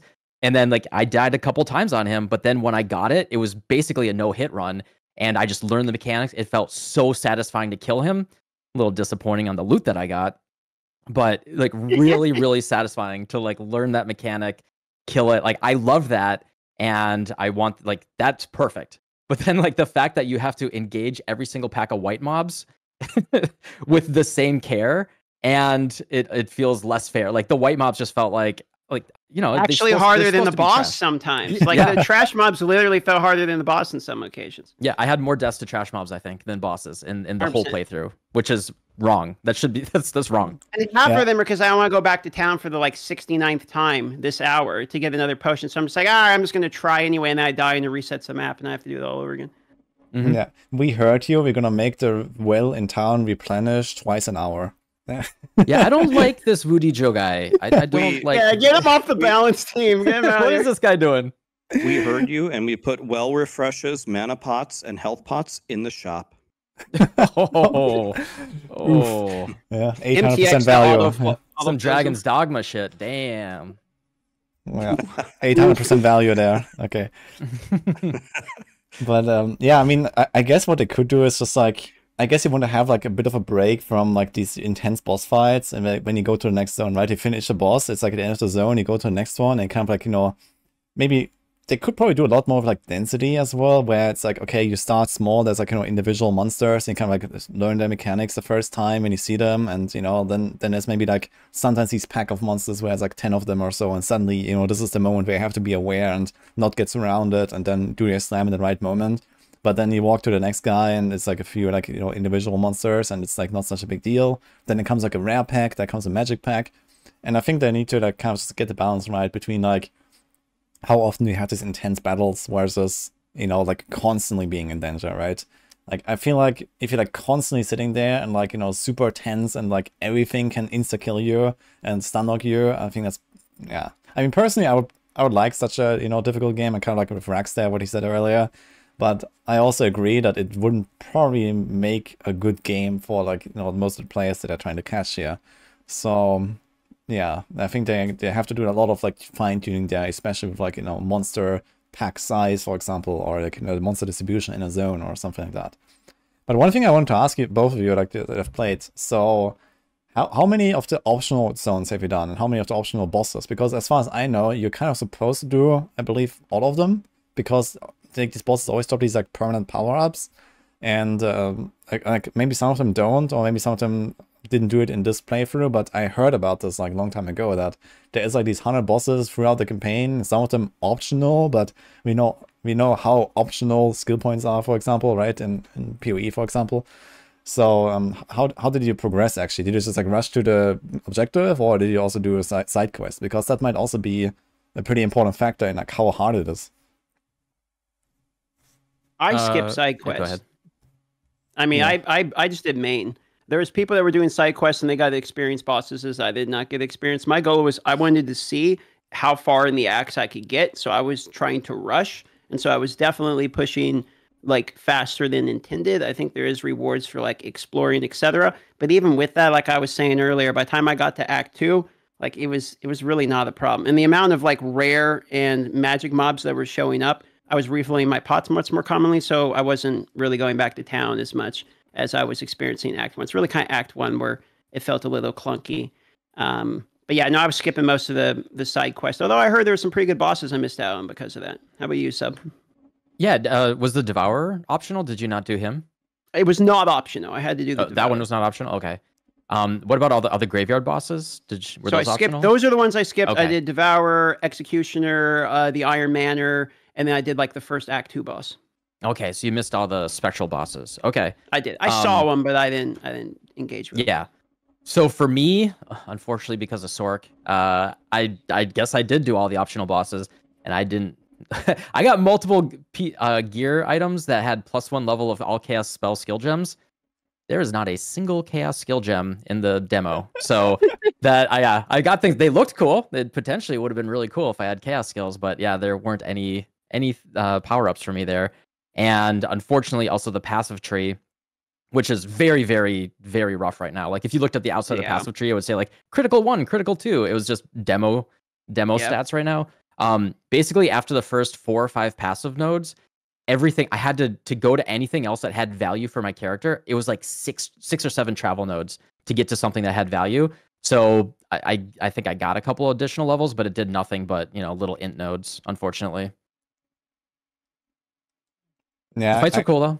Yeah, I guess it's it, it really comes down to like you know maybe like we, we don't really know much about the game, right? Like everyone who played this is basically a noob, and it might also just be that people have not figured out how to actually play the game like at all, right? Like people were kind of like learning combos between like I saw for example Ben doing like this uh, tech with like these lightning arrows in the ground, and then they would like barrage lightning arrow through them, and they would like you know shock everything ten times or something, and that was kind of like a like a burst combo he was doing. And I, I guess similar for another classes, like you know, as long as you don't even know like what is the combo that you have to do, and there might also be like a huge you know, difference in balance between how you play like in Act One versus Act Three versus you know Act Six versus in maps, with like you know how much you have to focus on these combos, right? So maybe it's it's, it's a completely viable that you just go like mostly auto attack in Act One, and this is how you play Act One, and then it kind of like you know you have like this this progression again that I talked about earlier, where you know you now you start feeling the combo being actually useful, maybe in Act Two, and then you get leap slam, and then you like leap in and you do a combo, and everything dies. And then in Act 3 you get like the next thing, and then in Act 4 you get another thing, and suddenly it all comes comes together. And maybe it's just also like a matter of not really understanding how the game in general works and something that you know people can figure out over time. I'm sure that if you have exactly the same game as now and let people play it for like a month, then this footage will look very different from what we saw from like people playing it for four hours in Los Angeles. So this is mostly the point I'm trying to make here. Right, and uh, th- that's completely true. People are going to get what much more knowledge about the game, even if they don't change it, and they're going to do it much better, and the playthroughs are going to get easier. But to play a little bit of devil's advocate here, um, um, again, like not to just keep reiterating the same point, but the first playthrough is going to ma- be make or break for a lot of people. A lot of people are not going to give it a, a month a month of time for people to figure out the meta so they can learn Ben's tutorial on how to do a Ben combo with the you know the the lightning arrows and uh, all of these crazy things. The game needs to be viable without this experience. It needs to be viable without a YouTube video from Ben teaching us how to be a god. Um, but yes, the, the landscape of the game, even if they don't change it, we'll we'll get better at it and we'll figure it out. I kind of uh, a kind of a hilarious parallel here. I was trying to figure out.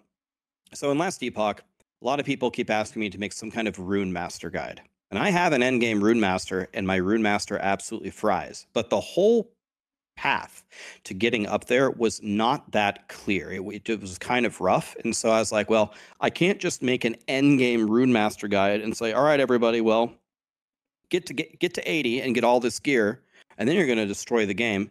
So then I was looking for different ways to level up with nothing and trying to find a very clear cut way to to level up. And I know there's one really overpowered skill Glacier. Glacier destroys, it obliterates everything. I know that. But people are like, oh, try Fireball, try Lightning Blast. No, no, no, Rax. Fireball, but you have to take this unique. Well, what if I don't have the unique? Oh, well, then Fireball's not that good.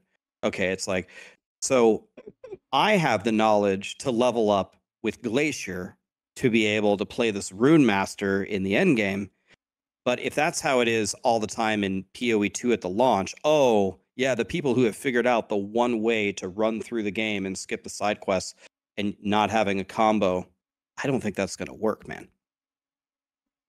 Yeah, I agree with that. I guess it should be like, you know, like forgiving enough so that, for example, your auto attack in maybe in Act 1 is, is still powerful enough to kind of get you through, right? And you don't have to do those crazy combos, and maybe you're going to figure them out later or something, right? And um, yeah, like kind of make it accessible, but maybe later on you kind of want to like include them more and more so that, you know, people kind of like have this learning curve. And yeah, I guess that was kind of like probably expected from the start from the developers that, you know, you do these combos as soon as you have them and this is how you play the game. But maybe it, it shouldn't be like that, right? So that's probably and one of the things they did is the very first thing they announced when we all got there was that they're delaying the game um, because yeah. they say it's not exactly. ready.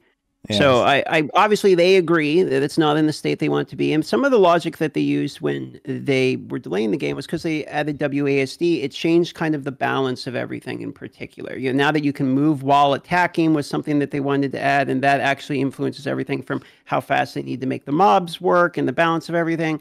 And like Sub was saying earlier, uh, obviously the skill tree isn't finished. So I don't think it's necessarily in the state that they want it to be, or else probably the beta wouldn't be pushed back. So I am kind of curious to see on what changes they do implement after everyone has had some testing and some feedback on it. Um, I, the part that I keep coming back to, and like the reason I would want to play the game, and I don't know if this is what they're designing the game for. This is, but for me, it's like if I got through PoE two and all the acts, and I get to the acts and I killed all the bosses I will have felt like I had a good time, regardless almost of what the end game looks like, because of the way that they made the bosses, where each one of them feel like a unique individual fight, and because we have like what hundred plus of them, I think they said that if if all of them are at the level of the ones that I was able to experience, it's going to be an enjoyable time. If even the time in what PoE two is is just go through the campaign, kill these bosses, defeat all 100 bosses, I'm still going to enjoy it for what that is. Maybe it's not the PoE one endgame blasting everyone once. Maybe it's not the focus on making your character and the builds and all that that people are used to, but the actual part of like playing the game and fighting the bosses was really good. So I'm I'm hoping that maybe the rest of the balance etc., you know, gets figured out. And I, to be honest, I have faith in that aspect because GGG seems to deliver out of almost any company we've seen so far. Um, but it, I really hope they actually don't touch the bosses too much because I thought it was about near perfect in in my time playing it at least. I agree. And one thing, uh, not to go on like a tangent here, but one thing about about these games that I'm learning much more this year. And again, I in no way am I trying to pick on Diablo 4, but I'm just going to use them as an example. I guess another example would have been Diablo Immortal. But one thing, and I'm interested to see if this impacts you guys as well. I I wouldn't say I'm a very emotional person. Uh, the person who knows here me uh, the most is probably Woody. I have normal mode and I have mad mode. That's pretty much it. That's pretty much the only. I like both. Don't worry. Thank you. But um, I'm not really a very emotional person. I kind of just sit here and play games, and that's it. But one thing that I learned this year that I didn't learn in any of the other years streaming is how much it impacts how much I'm enjoying a game as a streamer with how much my audience is enjoying it. So, for the example here, one of the most draining things that happened to me is when a lot of people in Diablo 4, not to pick on Diablo 4, but this is this the example that I have, we're just upset by various things. The generators, the crowd control, the lack of endgame, you know, whatever the different things have been that they're trying to solve. At a certain point, when you log in day after day after day, it's like going to a, a job that you don't like and everyone, all your coworkers are complaining all the time. It, it really had a big impact on me personally. So, what what DM's saying, he's going through the PoE game and he's feeling like the campaign is a, a big accomplishment. And Woody's saying, as we play it more, we're going to figure out the game. I'm 1000% sure that's going to happen for all of us we will solve the game. We will beat all the bosses. That's a guarantee. The thing that really matters to me is I would really love everyone to love Path of Exile too. So, uh, really, a lot of my mentality is how do I get people to download the game, play it, get something that they like, and stick with it and enjoy their time. So, if the bosses are perfect and the trash mobs are bad and the potions are bad, anything like that, that it's going to I really don't think of it. I guess another way to say this is I don't really think about it from my perspective. I don't sit there and play and say, how am I feeling about this? I try to imagine how will everybody feel about this, and um, I don't know. I guess that's the end of my point. But the how the audience feels about it has a much greater impact on me than I ever imagined previously. Yeah, yeah there's I, some. I agree with that.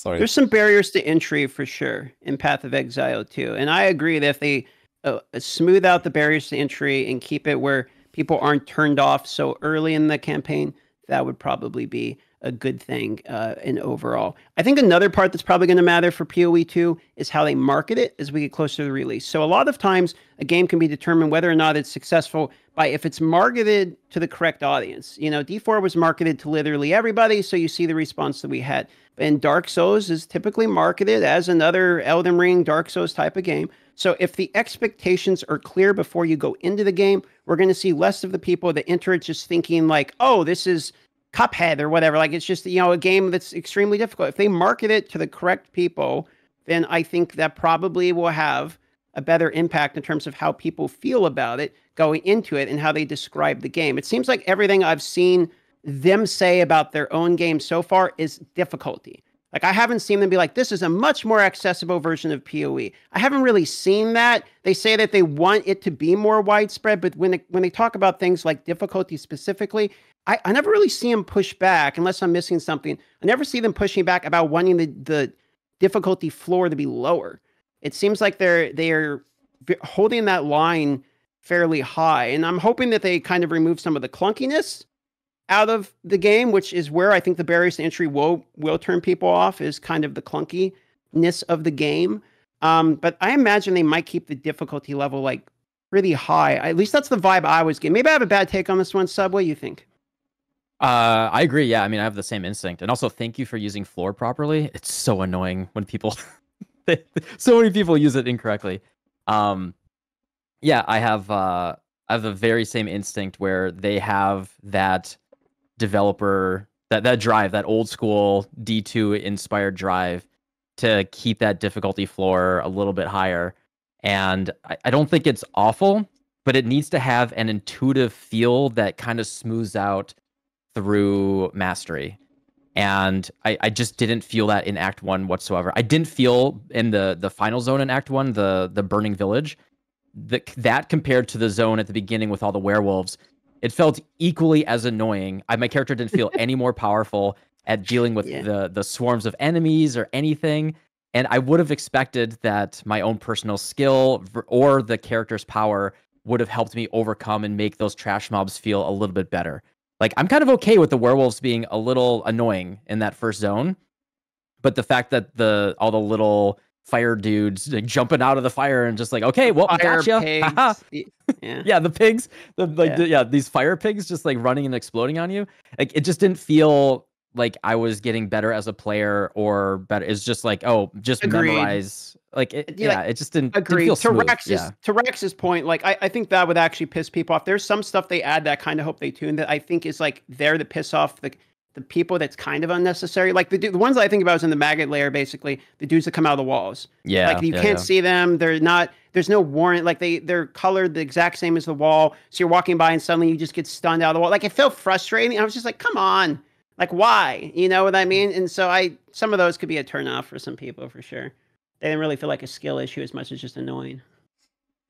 Yeah, I think there's definitely a lot of like rough edges to smooth out still. And if they get it right and people have like a, a good time playing through Act 1, and then, you know, you start feeling the progression in Act 2 and Act 3, and you get stronger and get your links. And I guess it will kind of like naturally like smooth out, I guess, over time. And then you have to like find ways to still keep stuff challenging. Like if you like leap them into a pack and the pack just blows up, yeah, that's fun. But on the other hand, do you still have a game at that point?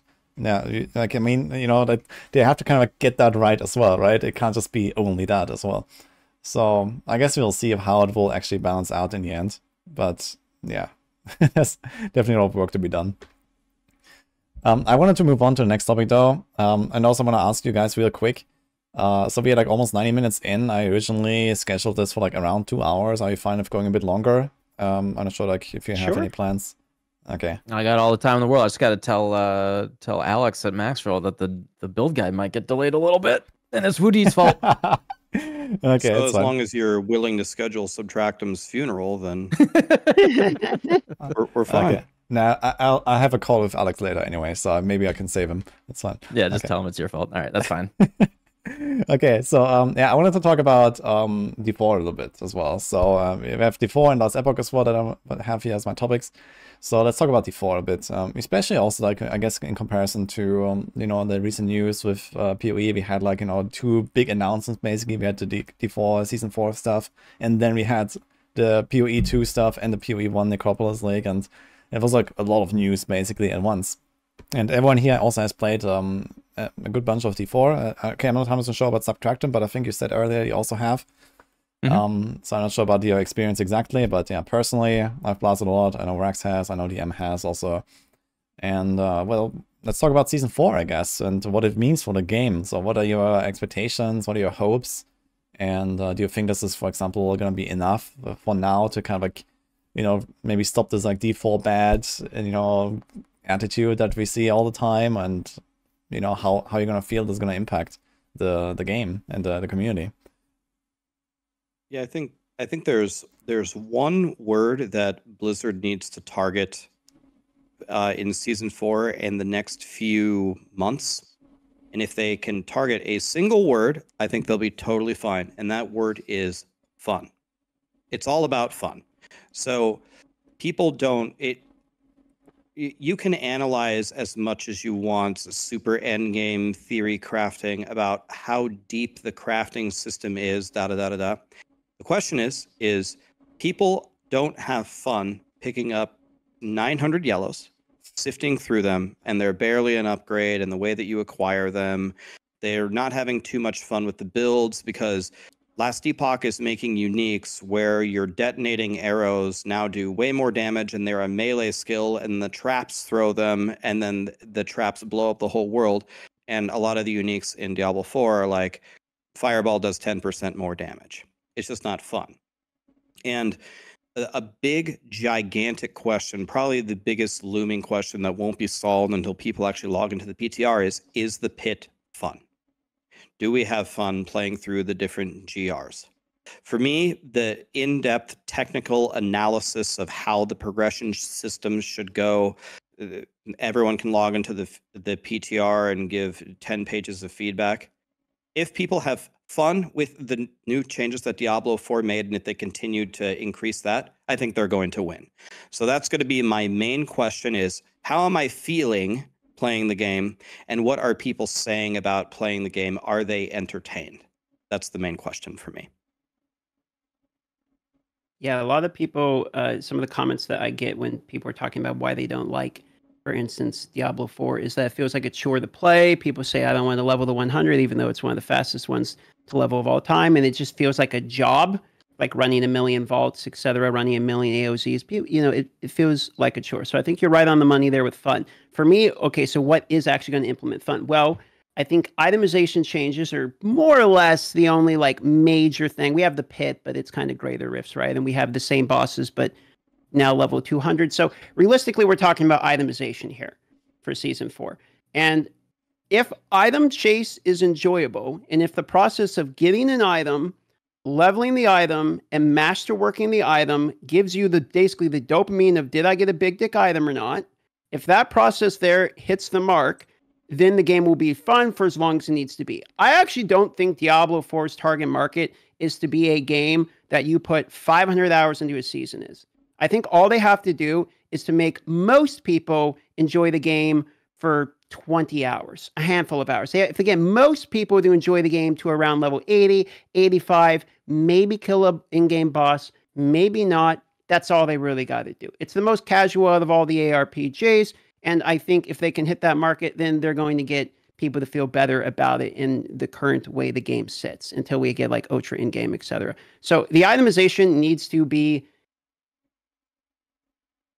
not a frustrating chore like experience. I don't want when I log in to feel like leveling and masterworking my items. I don't want to do. It needs to feel easy enough and fun enough of actually creating the items for me to want to continue the process to chase the items. And then we're gonna have to deal with like endgame later. But uh, I yeah, pretty much agree with the point there. Yeah, maybe Subtractem has some points as well. Oh, I'll have the most unique perspective here. Um, you get you guys are actually my D4 Sherpas. Um, the so I played in the preseason a lot, and I I had fun. Like I saw a lot of potential for the game in the preseason. Like I killed Uber Lilith. I felt I felt a sense of pride and accomplishment. I, I think I got a tier 100 nightmare dungeon, and I leveled yeah leveled to 100 when it was hard. Um, oh god, that was actually not a fun grind. But yeah, like I I felt like okay, there's a really good foundation for this game. And then I saw, you know, everyone saw what season 1 was going to be. And I've basically been using I haven't played since the preseason. I've been using you guys as my guide to tell me whether I should play again. And I have not played since the preseason. Uh, you know, I've been I've actually been following oh. you guys and just seeing like when is something that is added to the game that really wants me to to lock. Yeah, sorry, sorry to blame you guys for me not playing, but uh, yeah, like I I follow all your guys' stuff and and I'm just really waiting for that one thing where you know Rax or DM or Woody is just like this is the one. They they solved it they cracked the code and they unlocked the fun of the potential of Diablo 4 like I still see there's still a nugget of potential in that game for me and for for me like the soul of what I liked about D4 it is the best multiplayer ARPG like last epoch you can play with people PoE there's like group play but D4, I actually had so much fun going to helltides.com, putting that up on my side monitor. The boys would log in and we would just be like riding around Helltides and just like, oh, it's over here. The special chest is over here. And we're just gonna like, we're doing stuff together and it was fun. And like even cheesing some of the nightmare dungeons, like, oh, we're gonna cheese the XP in this one nightmare dungeon. I found that really fun. And then playing with my friends and even, yeah, even the world bosses and stuff. Uh, that's what I wanted is a world where there's fun stuff to do with my friends. I think that's actually their unique uh, competitive advantage would be leaning into that and because that social connection is something that uh, yeah all the ARPGs uh, the other ones almost actively discourage and I just haven't like the stuff that they're adding doesn't feel like they're really leaning into that at all to like really encourage people to play together. And so yeah, until like one of you guys says, "Hey, this is this is the mechanic that makes the game awesome and fun and I want and you should log in or get all your friends to log in. It's awesome to group up." They they just unlocked 8-person parties in like Uber Nightmare dungeons. Let's go. Um, you know, until that happens, I don't know when I'm to reinstall the game. So, I'm waiting though. I I do want to play the game again at some point. Yeah, it's actually interesting to hear what what just uh, described uh, about the group play. I gotta say. Um, I mean, first of all, in, in, case you're not aware, like season four is actually like a pretty huge break from the existing game, and we're gonna see on the PTR how it will actually play out. But you know, with Loot 2.0, there is and there's actually you know new endgame systems now, the pinnacle bosses that I hope gonna feel like on a similar level as like the existing like Uber bosses in PoE. Um, if if they hit the mark right there on the balancing, that can be really fun as like kind of like a, a benchmark and like a, a goal to have for a character, I think. But yeah, the group play is a really interesting point because I actually hear from a lot of people that Diablo 4 is like such an antisocial game as well because there's no group finder and you know you, you don't really have a good way to interact with people. But yeah you need to have like if you have your group of friends and you play together and you log in together and you do a hell tides yeah that's kind of nice. But for like the more casual play where it's like okay you log in and you have no one it's like exactly the opposite. At least that's what i hear all the time. And personally i cannot really say that i have done much in groups with anyone i've played a little bit of this at some point like in, in season zero or something and uh i don't know some other people but realistically, uh, the only stuff I've done in groups is like farm some of the bosses because it's just four times more efficient, and I really hate that part of the game to be honest. so, so it's kind of like yeah, it's, it's very interesting to hear you be so positive about the group play. But I do agree that compared to the other RPGs, like D4 makes it very easy to group up because there's no like you know crazy like support meta like in Diablo 3 or in PoE where you have like you know uh, you need to have a certain build to actually like you know be effective as a team or something. You just like go in with your build and you blast, and everyone just brings their their own setup and, and it kind of works right. So there is definitely potential there to like make group play a lot bigger, but I feel like it's really untapped, and that's kind of like the the one thing that is like recurring problem with the Diablo 4, right? So much untapped potential that uh, it's kind of like just going to waste, I feel. And uh, we see that in so many aspects. And well, slowly they're like trying to, uh, to bring more stuff to the game now, and let's see how, how it will work out, I guess. So I think I think Blizzard maybe doesn't get enough credit for what they did for multiplayer. They actually implemented the way to play with other people that I think is actually potentially the strongest of any of them. So, with their initial idea for it to be a giant overworld game, they needed to solve something of I'm, I'm sure Woody and I at least have heard this a million times. A lot of people, when we were playing Diablo 3, were screaming, I'm a solo player in Diablo 3, and solo players in Diablo 3 just completely get screwed in every way imaginable. Like group play is infinitely stronger than solo, and it has been the entire time. So all we heard over and over and over was, how can I play the game solo? And what Blizzard did with Diablo 4 is they made it so you don't have to have friends. Well, not quite. The Duriel thing is a huge problem. But with the overworld, you don't have to have pr- friends because none of us have any friends. yeah. Yeah, none of us have any friends. And you don't have to party up. You just ride to the world boss. You just ride to the event. You can, as Subtractem said, get a group of people and blast Nightmare Dungeons and Helltide, and that's so fun. Or you can just go do Helltide, and there will just be people there. And I actually think that they solved a very significant problem by doing that. The singular thing that I think a lot of people are complaining about with um, Diablo multiplayer is the lack of a group finder is the ability to find specific friends to play with. That makes sense. If you want to find new friends to do Helltide with, find new friends to do the dungeon finder, nothing that they have done has solved that specific issue, which is a problem, and they could implement that, and that could be untapped potential, as Woody has talked about. But I actually think they solved one of the biggest problems of I am so glad that I don't have to make a party to go to the world boss. Honestly, I don't need the party anyway. I'll just one shot it myself. But let's say that they actually make the world boss bosses hard one day. Do you really want to have to make a party to go kill the multiplayer world boss, or do you just want to ride up and fight it and whoever's there is whoever's there? I, I think they deserve some credit for that personally. I didn't mean to discredit them. I and I do really agree that these are really strong points of Diablo 4, like this kind of like random encounters that you have with people that works really well. And then you have like, you know, this kind of like, you know, you bring a group of friends that also works really well. But yeah, this one other part is really missing, right? Where it's like, you cannot find people. Like, you can't go and, and like, you know, make friends basically, right? It's like, okay, you find random people in Hell Tides, but are you really gonna like invite into a party and then, you know, add into your friend list and then group up again the next time? Yeah, that's not happening, right? So this is kind of like the the piece that's missing. I feel like, you know, like you know, like uh, communities from Diablo 3, for example, is, is like one of those things where it's like, okay, you want to do bounties? Sure, join the bounty community and, you know, LFG there, right? And you're to find people to do a certain thing. And that is just like not there. It's also not there for trade as well. You find a really good item, how do you go trade? You go to a third party site and you trade there. Same same issue there that they could solve be curious to see how they're going to address trade now that both legendaries and uniques are going to be tradable going into season four.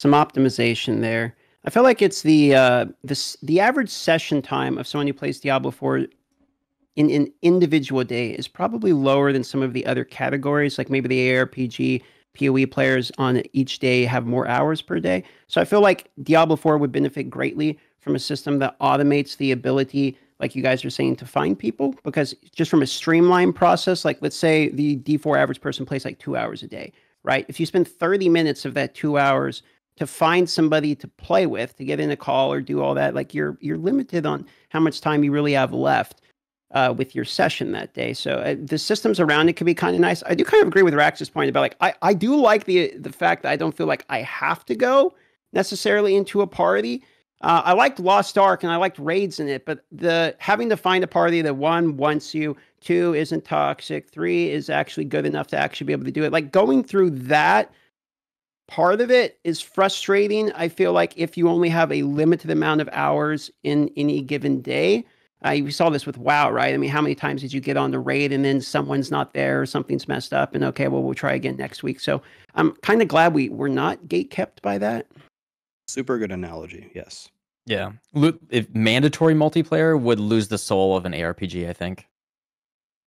Yeah, that's exactly the problem that we had in Diablo 3, where it's like what Rax described. Multiplayer was kind of like the way to play Diablo 3.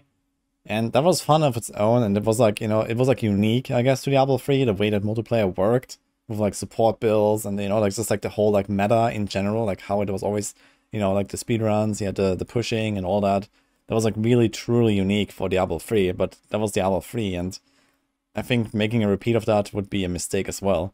So I need to find like the, the right balance there. And so far they've done a really good job, but yeah. But I think this Agreed. is like all, yeah, like, you know, I, I wanted to get back a bit more to the to the topic of like season four in, in, in particular with like uh the, the items. Like, do you actually feel like this is kind of like enough to make items interesting outside of like the tuning and like, you know, how often you find them and all that stuff. Is that does it actually excite you with like you know the changes that are coming with the tempering and masterworking, for example? Do you think there could be more, or do you like to see more, or whatever? Well, I I view this topic maybe a little bit differently if Diablo 4's history had gone a different path. Uh, I think about it as as a relative thing. It's all about trajectory for me. Uh, so what we current ha- currently have just doesn't work for me at all. There is really no crafting. Clicking upgrade five times at a blacksmith, we you've completely solved gems. Every build knows exactly what gem you're going to get. At this point, you're just going through the motions of walking to the thing, upgrading it, putting it in your items. A lot of the stats are damage on Tuesdays. I'm so sick at looking at yellows. A lot of the uniques don't really fundamentally change the build in an exciting way. A lot of it doesn't really work for me now. The changes that they're making, one of the most exciting things that uh, for me about the entire patch is sitting at seeing Adam Jackson sitting there on the couch saying, "We're going to go with a much more bold strategy with uniques. Frozen orbs at the end spawn a conjuration that throw frozen orbs. That's what I'm looking for. I'm looking for them to take a bunch of risks, I'm looking for them to trim the fat. I'm looking for them to give me a crafting system that actually matters. It's not just clicking upgrade five times. It's not just upgrading a gem that I already know by the time I'm level one what I'm going to get in the end game.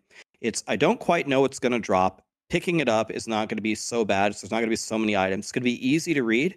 And then let's see if I can get through this master working and not brick the item. Relatively compared to what we have, the trajectory is so much better that I will be happy with that. I'm not looking for them to create the greatest crafting system ever. And I thought that the breadth of their announcement was bigger than I expected from them. So overall, I'm going into it fairly positively, even though Reddit just made a thread about me wanting and all of us wanting all games to fail. I don't know if you guys saw that one. I yeah, there's nothing I love more than a game being dead, so Twitch is dead, so that I make less ad revenue when I'm streaming to viewers. I mean, but yeah, no. In terms of uh, in terms of the itemization changes, I have a very simple take. It's worth my time to log in to see if I like it. If I don't like it, I'm going to do exactly what I did in season three: not play it. But if I do like it, I'm going to play. I don't. I don't think it's much more complicated than that for me. If it feels good, I'm going to try it until it is boring, and then I will quit. And I'll do that every season with whatever mechanic they come out to. I'll try it until I get bored, and then I'll quit. That's it. Pretty much how it boils down to me. I don't. I'm not stressed about it anymore. I would say at the launch of the game, I was like, ah, shit. Like I kind of, you know, I really hope they can recover quickly. I, I don't, even, I don't really care anymore. It's like I, I hope the game recovers because it is good for me and I would love to have a third ARPG, PoE Last Epoch D4, Holy Trinity. Let me cycle between these. It's let's go, baby. It's literally perfect for all of us. So hopefully it's good, and I hope I enjoy it, and I hope when I log in I have fun. If it's not, then I won't. I guess yeah. Uh, just just to give one direct point to something that DM said, and maybe this is something that I need to work on personally as a human being, but I would say that I am stressed out about it. I am stressed out about how it's going to go. I am stressed out about Last Epoch, even though Last Epoch is doing well. I am stressed out about PoE 2 and PoE 1. And I don't know. I, I guess I don't have a good reason why, but I don't feel that way. I do feel stress. It's not. It's not even a function of oh, I need all of them to succeed. It, he's right. Like the Holy Trinity, I want to cycle through it. But I don't know. I I am stressed out about it. I I hope that it goes over well. To be honest. Like, what makes you stress exactly? Like, uh, what do you feel? I mean, I think I think part of it goes back to like I've never really dealt with this in my career, but logging in every day in like July, August, September with the def so many people were so upset. That actually really started to get to me. And part of it is like like a personal like nostalgia thing. I've been playing Diablo since I was like 12. I grew up on this game. Eh, how how many how many years of our lives did we dedicate to Diablo 3? Not just in playing the game, but also in going to all of those roundtables, trying to analyze things, trying to make the game better. I, I feel like there is a lot more at stake here for me than just if Diablo 4 sucks, I'm just gonna log out and I just don't care. It, I, I, I do care. Like maybe I shouldn't, and like I said, that doesn't make me a better a better person. Maybe maybe I should try to shrug it off, and maybe in some ways I I've been trying to, but I I would be lying if I didn't say that I was stressed out about it. But maybe I'm the only one. I would be very very sad if PoE, yeah, like the, the Lake of Kalandra uh, was a notoriously poorly received league, and uh, yeah, that felt awful. It felt really really bad. And if we didn't bounce back with Sentinel afterwards, I think it would have been um, yeah, it, it would have been a really lasting negative feeling for a lot of people. It, it feels bad. Okay, I, I guess it's like, especially speaking from a content creator perspective, right? So it's like, okay, like you have like, you like vibing, you have a good time, you build your channel and your audience, and you know, you wait for the next league, and the next next league is like a super letdown. And then everyone is kind of like, okay, I'm gonna play other stuff now. Your numbers go down. It's like you know, it goes all the opposite trend. I guess this is mostly what you're referring to, right? So yeah, I can kind of see that point from from Rex. So of course, like if like the game fails, and, and we're all gonna suffer from it, right? Uh, both as someone who would like to play that game, and also as someone who likes to you know try to make money off that game as well. So there's this yeah. side, of course. And yeah, I mean, I think the the nostalgia point that Rax said uh, for me also like I grew up with a lot of these games. Like it blows my mind that we're playing Diablo 4. Like was it 25 years ago, 28 years ago? I played Diablo 1 and now we have Diablo 4. It's just crazy that this franchise is still around for so long. And like, you know, everything uh, I've seen some pretty negative things about Blizzard in the past year, um, past couple years. I, I was a very, very big Warcraft 3 player. And what they did with Warcraft 3 Reforged, it it broke my like literally I watched a video of uh, of Grubby kind yeah, of like I, going, I watched going that as it. well, and uh, it- I I teared up. I straight up teared up as well. Like uh, seeing how much how heartbroken Grubby was with Warcraft 3 Reforged and like my memories of that game as well and that whole that series.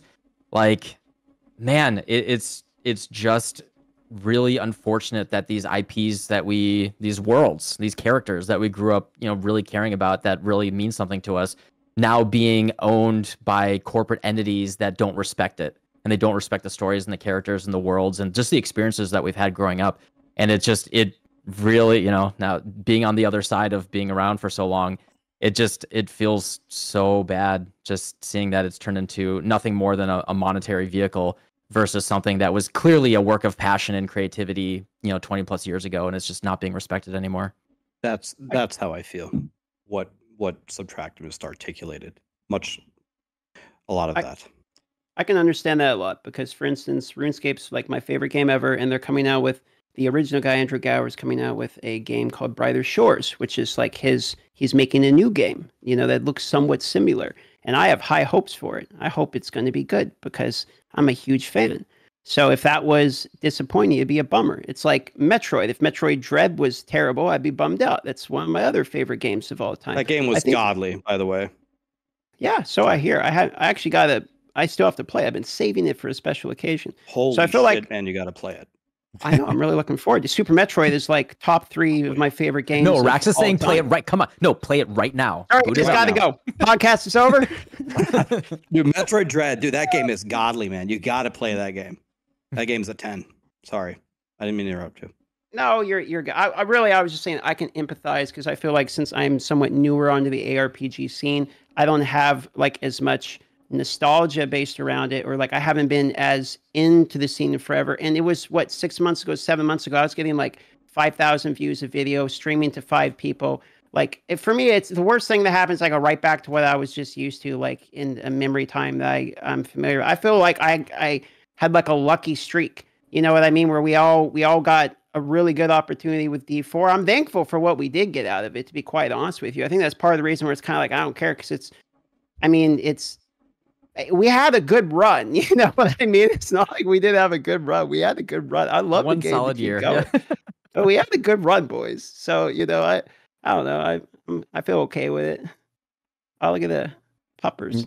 Yeah, I gotta say, uh, as someone who has been like very obsessed with Diablo 4, like you know, for for basically two years at this point, or, or something like that, you know, I've been gobbling up all the information. I've been preparing for that world first race, you know, like uh, basically a year in advance, and and all that kind of stuff. And now, you know, like all this, yeah, okay, I, I kind of expected it to go well and have a good time and stuff, but then you know, like what Rax described of like people just being negative about the game all day long in your chat and.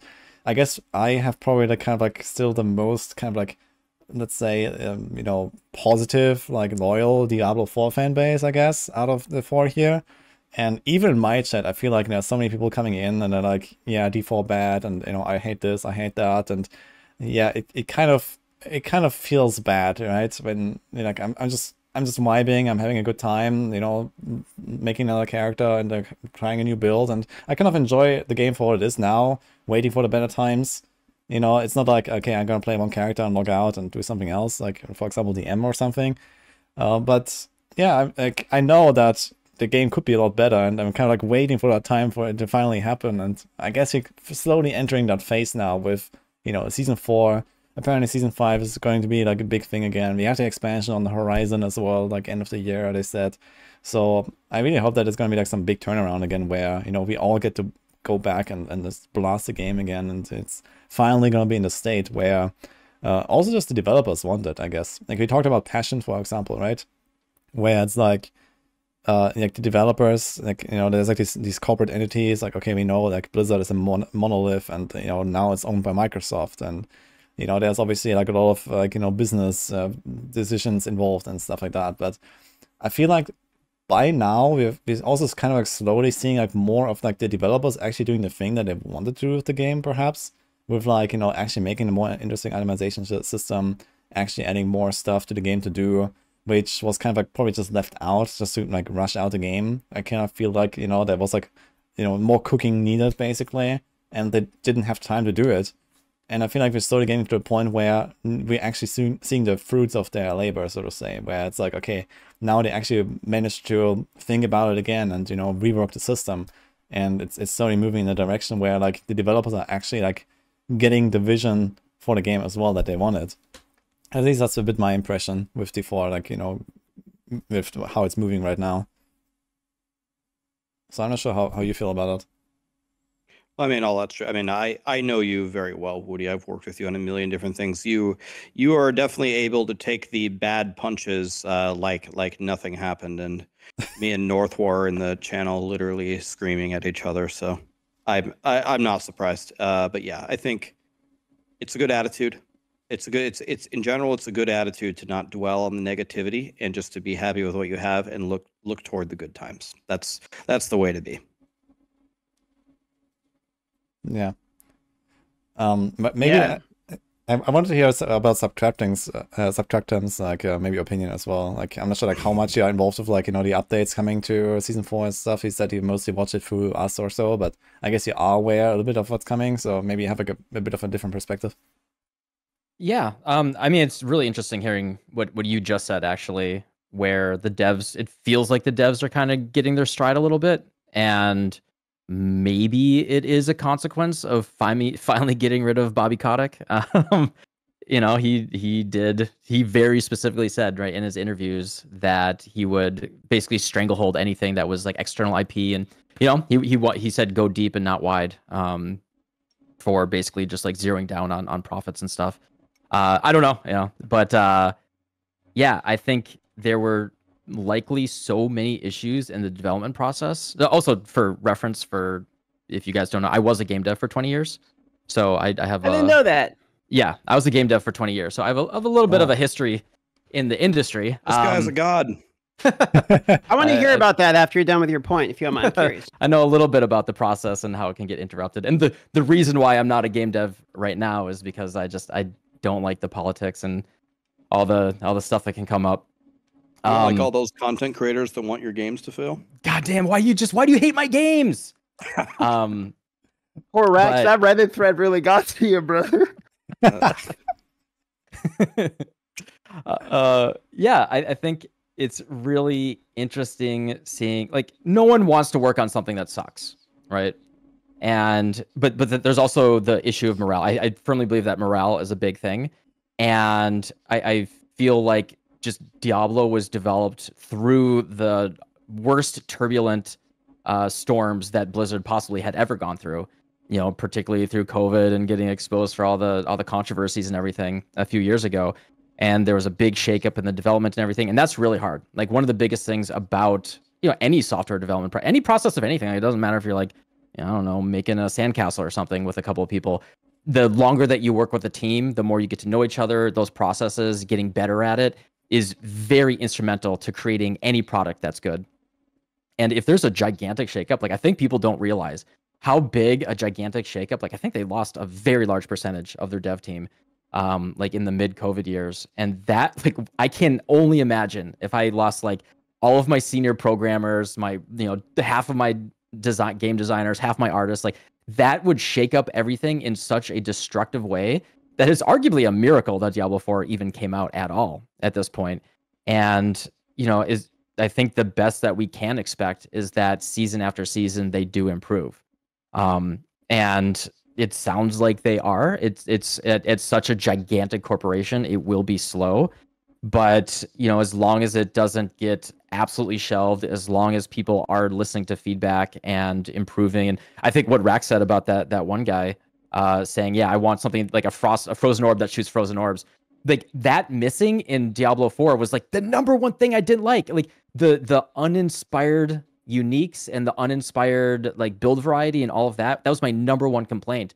And if they are actually addressing that and starting to be creative, I think that's a good sign. And um, you know, I, I think it is it's funny to say D4 bad, but also it's at the end of the day, the best thing for the ARPG ecosystem and players in general is just more good games being supported and people loving them and good competition. Like we're already seeing this PoE.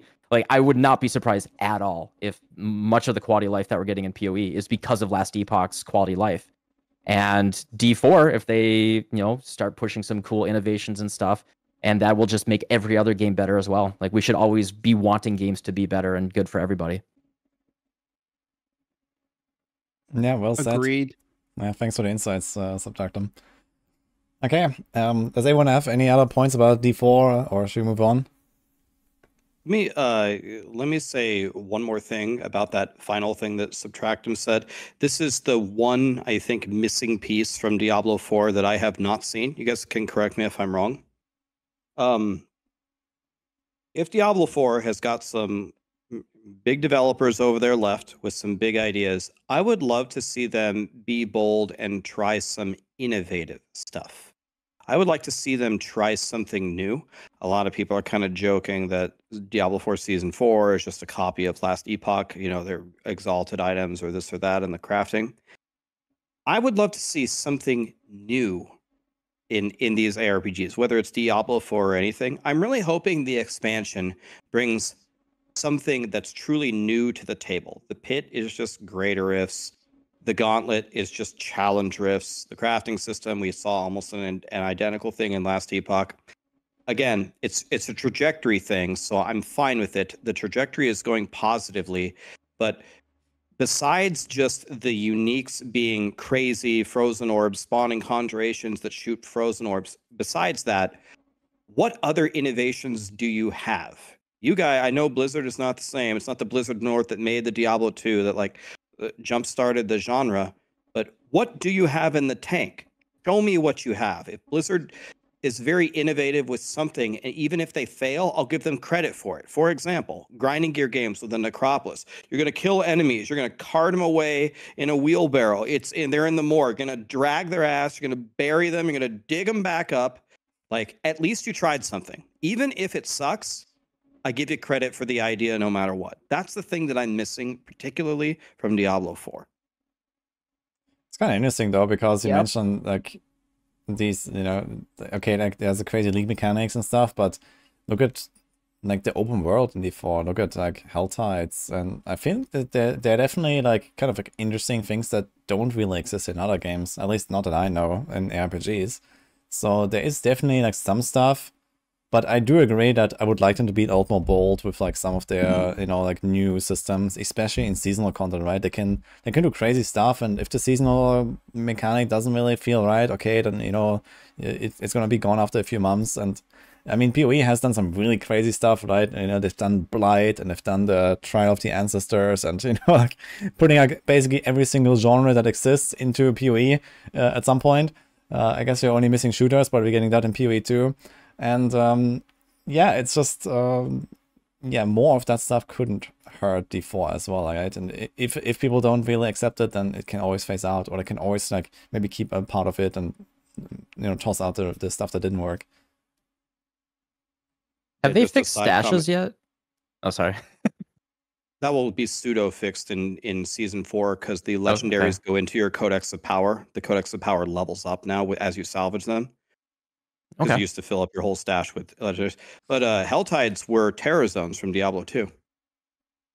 Mm. So we saw that before too, right? a, a, zone gets corrupted and the enemies come and you get more experience and whatever. They were just terror zones from Diablo 2.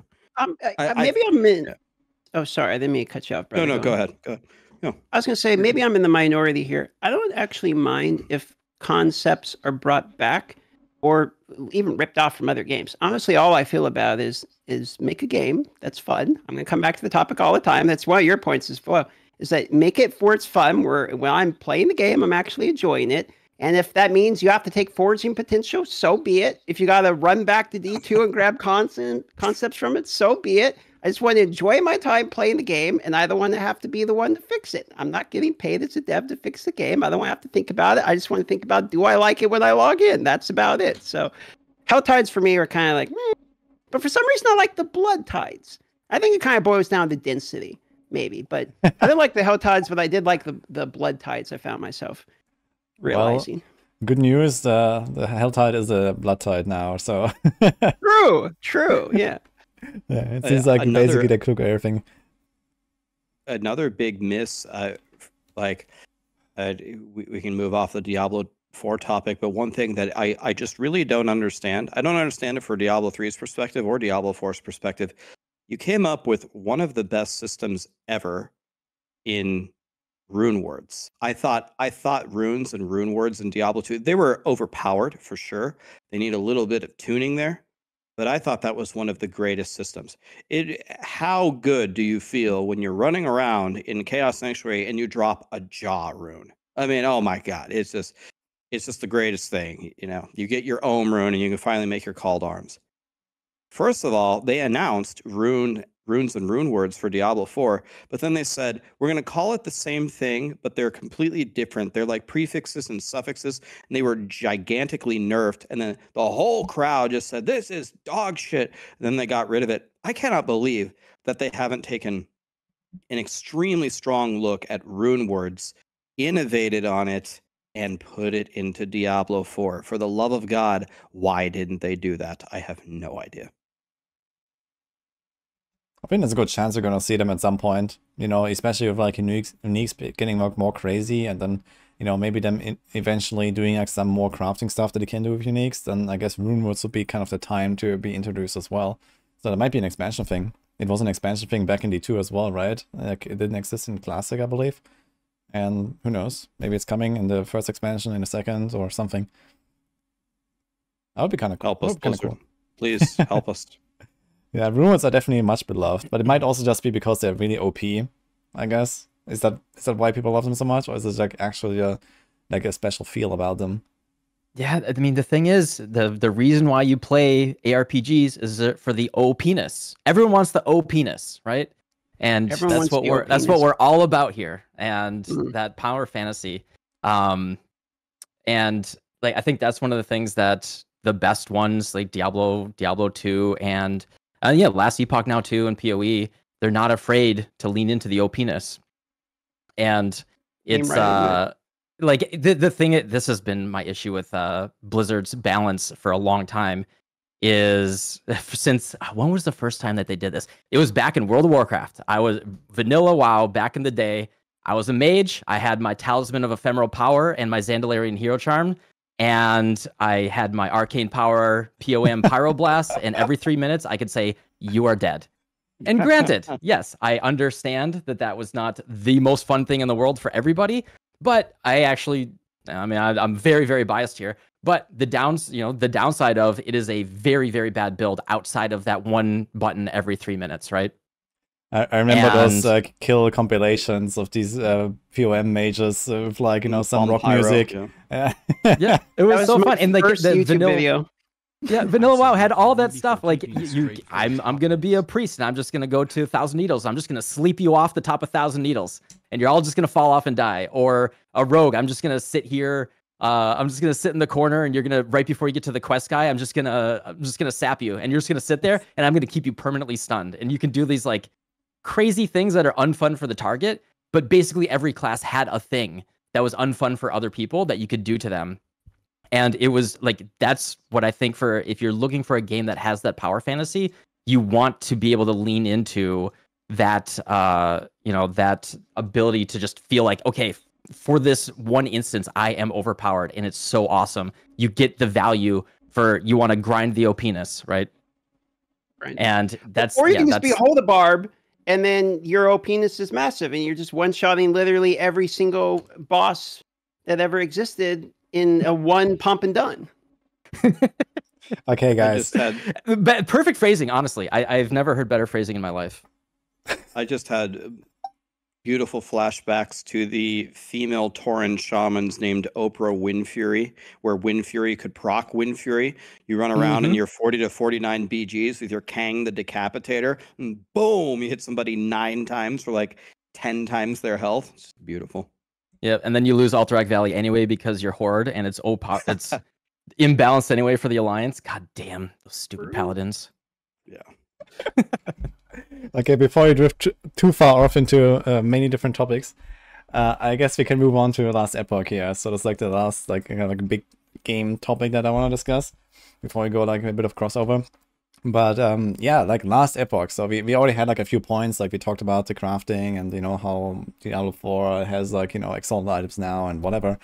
But um, well, what was your experience of last epoch? First of all, you know, like now that it has been out for a month, everyone has been blasting it, as far as I know and um, most people had a really good time but also like where do you expect Last Epoch will land between the other games for example like what are your feelings about it uh, for the future and like what are you planning to do Yeah, so I think I think the context here is important. Like Subtractem was saying, you know, as a game dev, if you would have lost your entire team, that's a miracle that Diablo 4 even launched. I think if you consider, you know, the size of the studio and all the things that they've been able to accomplish, I find Last Epoch is a massive success. Also, like Subtractem said, I think that their success only means good things for the consumer. I think that it raises the bar for a, a lot of a lot of the other gaming companies. Um, I think they're going to take inspiration from it, and maybe PoE is implementing quality of life because of it. Maybe Diablo 4 is implementing certain crafting things because of it. We won't know the cause and effect there. Maybe it's there, maybe it isn't. But either way, I think it's just a great game. Um, I think that what they have shared on their dev streams is accurate. The way that they make the game, the way that they continue to expand is in the end game. They have the Pinnacle Boss system coming out next next league. Um, it'll be very good, hopefully. And uh, they're fixing a lot of the bug fixes. One thing that I th- thought they did, which was a kind of a brilliant PR move, was they polled their community on how they're going to make their changes. I mean, now people feel almost empowered that, hey, I don't, I trust the last epoch devs to listen and not sweep the rug out from under my feet whenever they're going to make major changes to the game.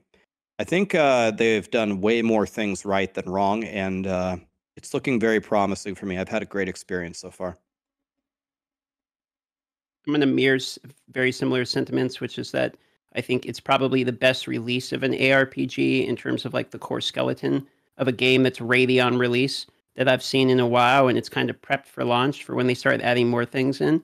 I like that immediately in 1.1 we're getting Pinnacle, and I'm going to double down and agree with Rax's point about interacting with the community. I think they probably have the best interactions with the community I've seen.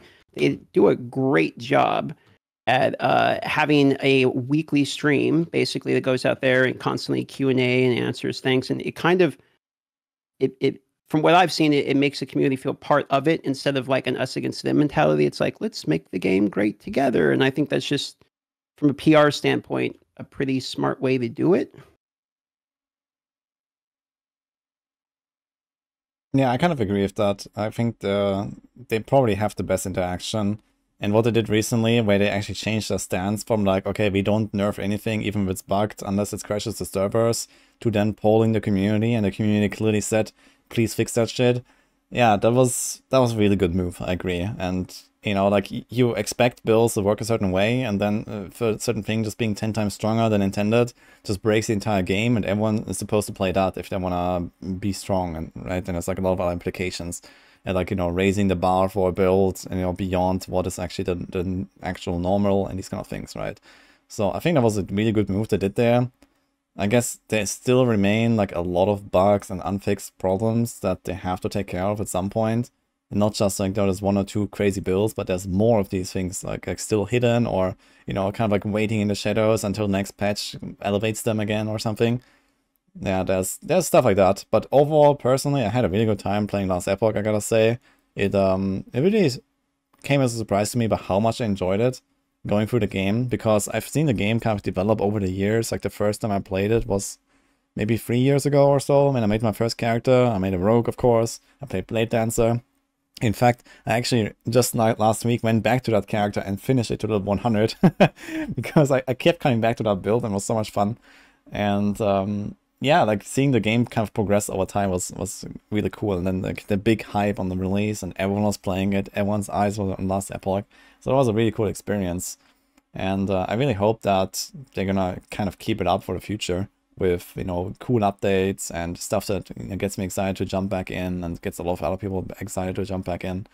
But at least my personal impression is that while they are really close to the community and they do a lot of things right, I think they are somewhat slow at doing all that, which also has to do with the size of the studio. But I, personally, I feel like okay, it doesn't really do them justice, but practically the game didn't feel all too different like two years ago than it did now. And I feel like if you compare this to like PoE with like you know the large in-game expansions, but even the individual leagues can do like a massive shake-up. And if you compare this to like Diablo 4, like Diablo 4 nine months ago is a completely different game than what we're gonna see in, in May, for example. Uh, I feel and I feel like in the last epoch they, they are doing things really well and really like in tune with the community, but very slowly. So I'm not sure how, how your impression is with that. I'm so glad you said that because I didn't want to be the only guy that wasn't 100% glowing positive. um, so I, I, I really like the game. Uh, I played it a year and a half ago. So yeah, nearly two years ago. And I, I made a glowing video. I was like, wow, where, where did this game come from? This is so cool. Like their UI UX is beautiful. Like it's, it's mm-hmm. there's definitely a lot of flaws. Like I think the the filter interface needs the loot filter interface needs so much work. Um, I'm just so spoiled from Filterblade. Like just being able to reverse search, like why did this item show on my loot filter, and be able to find the exact rules and fix it. I want that so bad in Last Epoch. But like I love the UI UX. The crafting is beautiful. Great foundational systems. Really intuitive builds and everything feels really good. But I played it a year and a half ago, and I was like, "Yo, this game's really cool. Really good foundation. They got like two or three dungeons that, you know, when that gets built up, that's great. Monoliths are really cool. That's going to be really great. I can't wait to see what content they add. And I didn't I didn't touch the game in the past year and a half until release. I was like, "All right, let's go. I can't wait to see what they added." And they added Falconer, and I was like, "All right, that's cool." All right, and I guess the exiled mages, that's cool. Uh, unfortunately, all the experimented items were not usable for me.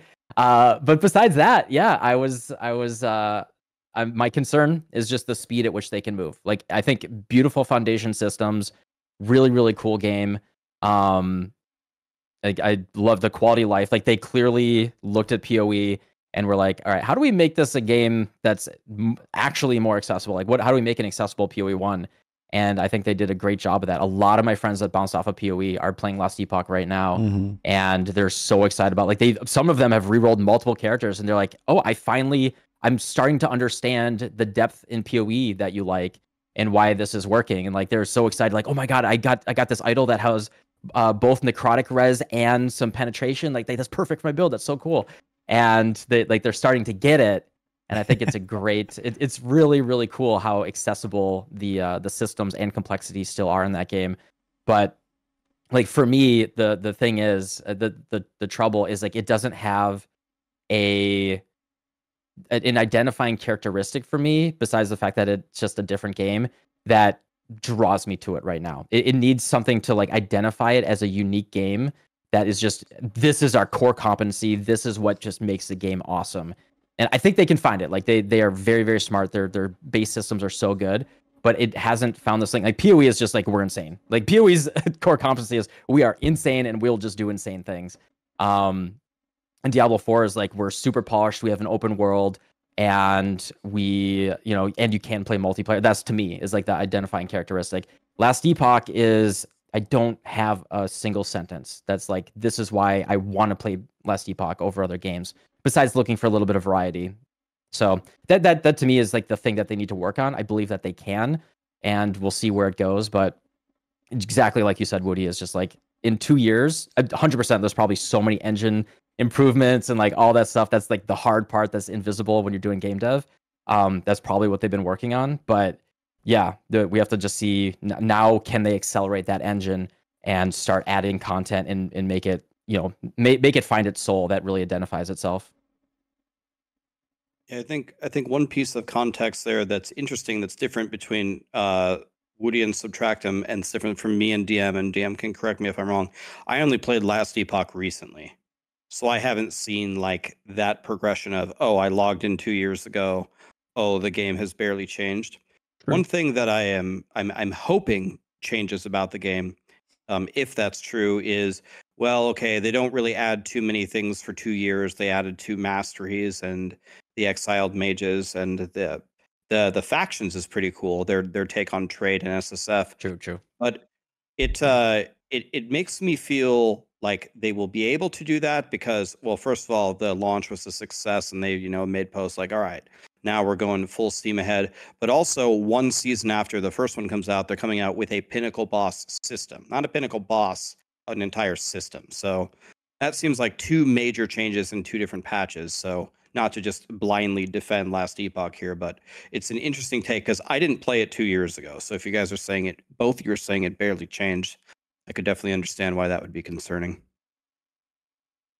I can understand the point. I mean, for me, I think I I moved on quicker than the average person. I hit level 85 uh, like twice on two different characters and after that I was kind of like, okay, I can see what the end game is. It's pushing corruption and doing the endless arena until my hardcore character dies, etc. That seems fun, but I don't necessarily feel like I need to experience thousands of corruption for me to like get what I liked out of last epoch. And I'll check back in when it's uh, you know, when it's got more polish out of it. I do feel positive about it mostly because I feel like the release is for the most part decently complete in terms of a basic release that is then going to be pushed out um you know going into the future so i can kind of get the points about like it hasn't progressed as much but i also looked back and i'm curious if you think the graphical progression is is enough to make you feel better about what they did with the time because i looked back at the basic and it looked like way graphically different uh, than it does in its current iteration of release. So I'm I'm assuming some of that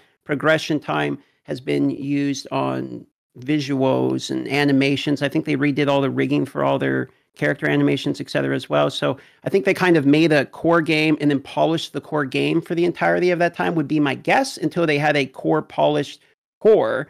And then they're going to add on to it from here on out. That'd be my guess. I don't know. Like I know. Yeah, there, there definitely has been pretty uh, massive improvements in the graphics, especially with the 1.0 patch. They actually added like the weather effects and like lighting, shadows. There, there was definitely a, a jump there. And they also mentioned somewhere in like an interview or something that the graphics is something they always want to keep working on like forever, basically.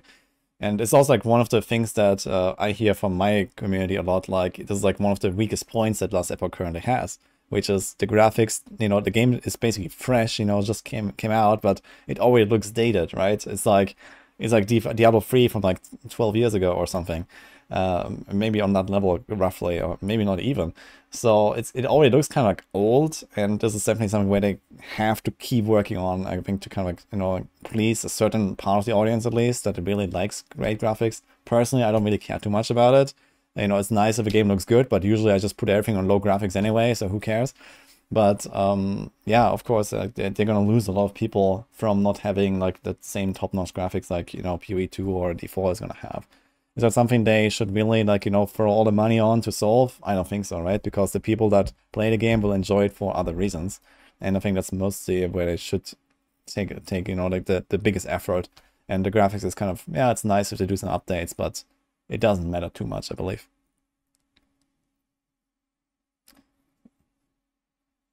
Not sure if you have any other opinions on that, but I was just thinking the the just talk about the graphics point for a second is um I didn't play it I didn't play it years ago. I only you know similar to the Rax here. I started playing with a few months before it's launched at the most here.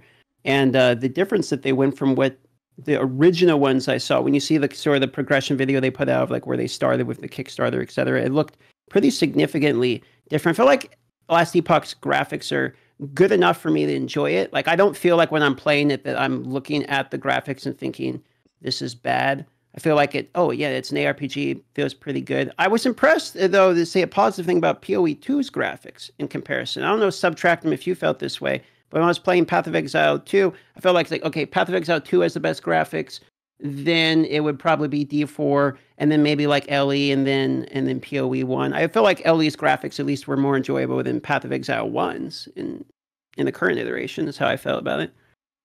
Yeah, oh, I mean PoE two is gorgeous. That game is uh is really really and the the animations. I part of my playthrough actually zoomed in and I just like spun my character around and walked a little bit. Yeah. The the cloth the cloth especially it looks so good. Um, yeah, the thing base PoE is rough looking. I will have to say that the the MTX, if you put on like the if you pay to win a little bit and look nice, Yeah. it does it can be pretty nice looking. Um, I think the thing for me with la- with Last Epoch is uh, I make I've been making this comparison for many many years now. Is uh, back in the day, uh, the Quake Three and Unreal Tournament came out at a very similar like within a year of each other, and I loved both games. I actually probably played more Unreal Tournament than Quake Three, but there's this thing I describe in games that I just call like the crunchiness factor. And in uh, Unreal Tournament, if you hit someone with something, it felt like you were throwing styrofoam at them. Like the flak gun, which was supposed to be basically like a shotgun, just felt like you were throwing styrofoam blocks. The um the shock rifle, you do this big, you could do a combo explosion with it, and it's just like just like this little oh uh transparent purple poof. But you hit someone in the face with the railgun in Quake 3, it even makes a sound like a, the a correct sound effect. It feels so good. You rocket jump around like the everything from the sound effects to the look and the feel. It has this like crunch to it. Oh god, the memories from the LAN parties, man. Oh, exactly yeah A- and, just like that that feel i that's something that i always look for in my games and it's it's 100% just a psychological trick because like the numbers can be exactly the same but it's the way that the animations and the graphics and the, the sound actually feel and actually in, in poe so for last epoch last epoch to me is like unreal tournament kind of where everything's like a little floaty. It doesn't have that real crunch with like a sound effect that just mm, i feel like I, I hit someone with like a big nuke and they just exploded. But in PoE, there's actually there was a, a controversy where the shatter sound effect from Herald of Ice, it just it has this like it's a literal crunch sound effect of me shattering the entire screen of enemies. And there was one patch where they said, "Oh, there were performance issues with that shatter sound effect," so they put in a different one, and the community lost their minds. Like it just it doesn't feel as good. All they did was change the sound effect, no functional difference whatsoever. And everyone was like, "No way, we want our old." Like there, there were like picket lines and poles and everything going out there, um, just to bring back that crunchy factor. And I, I feel like that's something that you really get a little bit more in PoE than any of the other ARPGs for me, except for the one thing I will say: casting Deep Freeze and Diablo Four might actually be the single most satisfying ability in any ARPG ever. Like if you just put on real good headphones, you zoom True. in, you got th- that that boom, boom, boom, and then everything freezes and shatters. I want that. I want that feel more in video games. I think it's so important. And uh, like I find it very disappointing that so many games are not released with that level of detail to sound and gra- like the feel of using using your abilities is uh, like the most important thing, more than even just like the numbers and the tuning.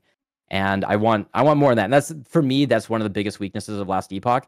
Is I had a I had a falcon. I started falconer and I just go woo, I'm shooting my bird and everything's dying. I'm doing tons of damage. Dive bomb, woo, I'm flying around. But I never felt like you know, particularly the way that they do the damage scaling on bosses. If you hit them really hard, it'll like, you know, scale down your damage. It- things felt very spongy. And I never felt like that real, I'm hitting critical strikes, I'm crunching them or anything. And I'd, I'd really like for them to to look at that to uh yeah to to really uh get the game uh I don't know I want to feel the old penis I want to feel it real deep inside me I think that's pretty fair feedback, to be honest. I, I know what you're saying because I was playing Hammer Paladin and it did feel somewhat similar, I don't really feel the impact of each of the the hammers. Oh, penis. oh my god, guys. yeah, okay, but I, I totally agree with like the the point about the sound. Like the sound design is extremely important, and that can really make or break like the immersion level of the game and like you know the feel of it. And I totally agree. Like you know when, when you play like I know Rogue, like you know Rogue's my main class in D4, and I, I love Shadow Imbue. And you know you you pop a pack, it explodes. It's kind of like this Herald of Ice shatter feeling. You have like the insane insane sound, and then the pack pops, and it just feels good, right? It's just like fun to use Shadow Imbue and like a penetrating shot into the pack with Shadow Imbue, everything explodes, the entire screen, boom, and you have the sound. And yeah, I think this is definitely like a huge component missing from like making Last Epoch feel good. I, I, I kind of agree with that. So yeah, the game is nice. I like the skill trees. I like the, the, the, you know diversity in the builds and the theory crafting. You can do lots of really cool stuff with all the uniques. Like every five minutes, there's another unique item dropping, and I'm like, man, I really need to make a character around this unique.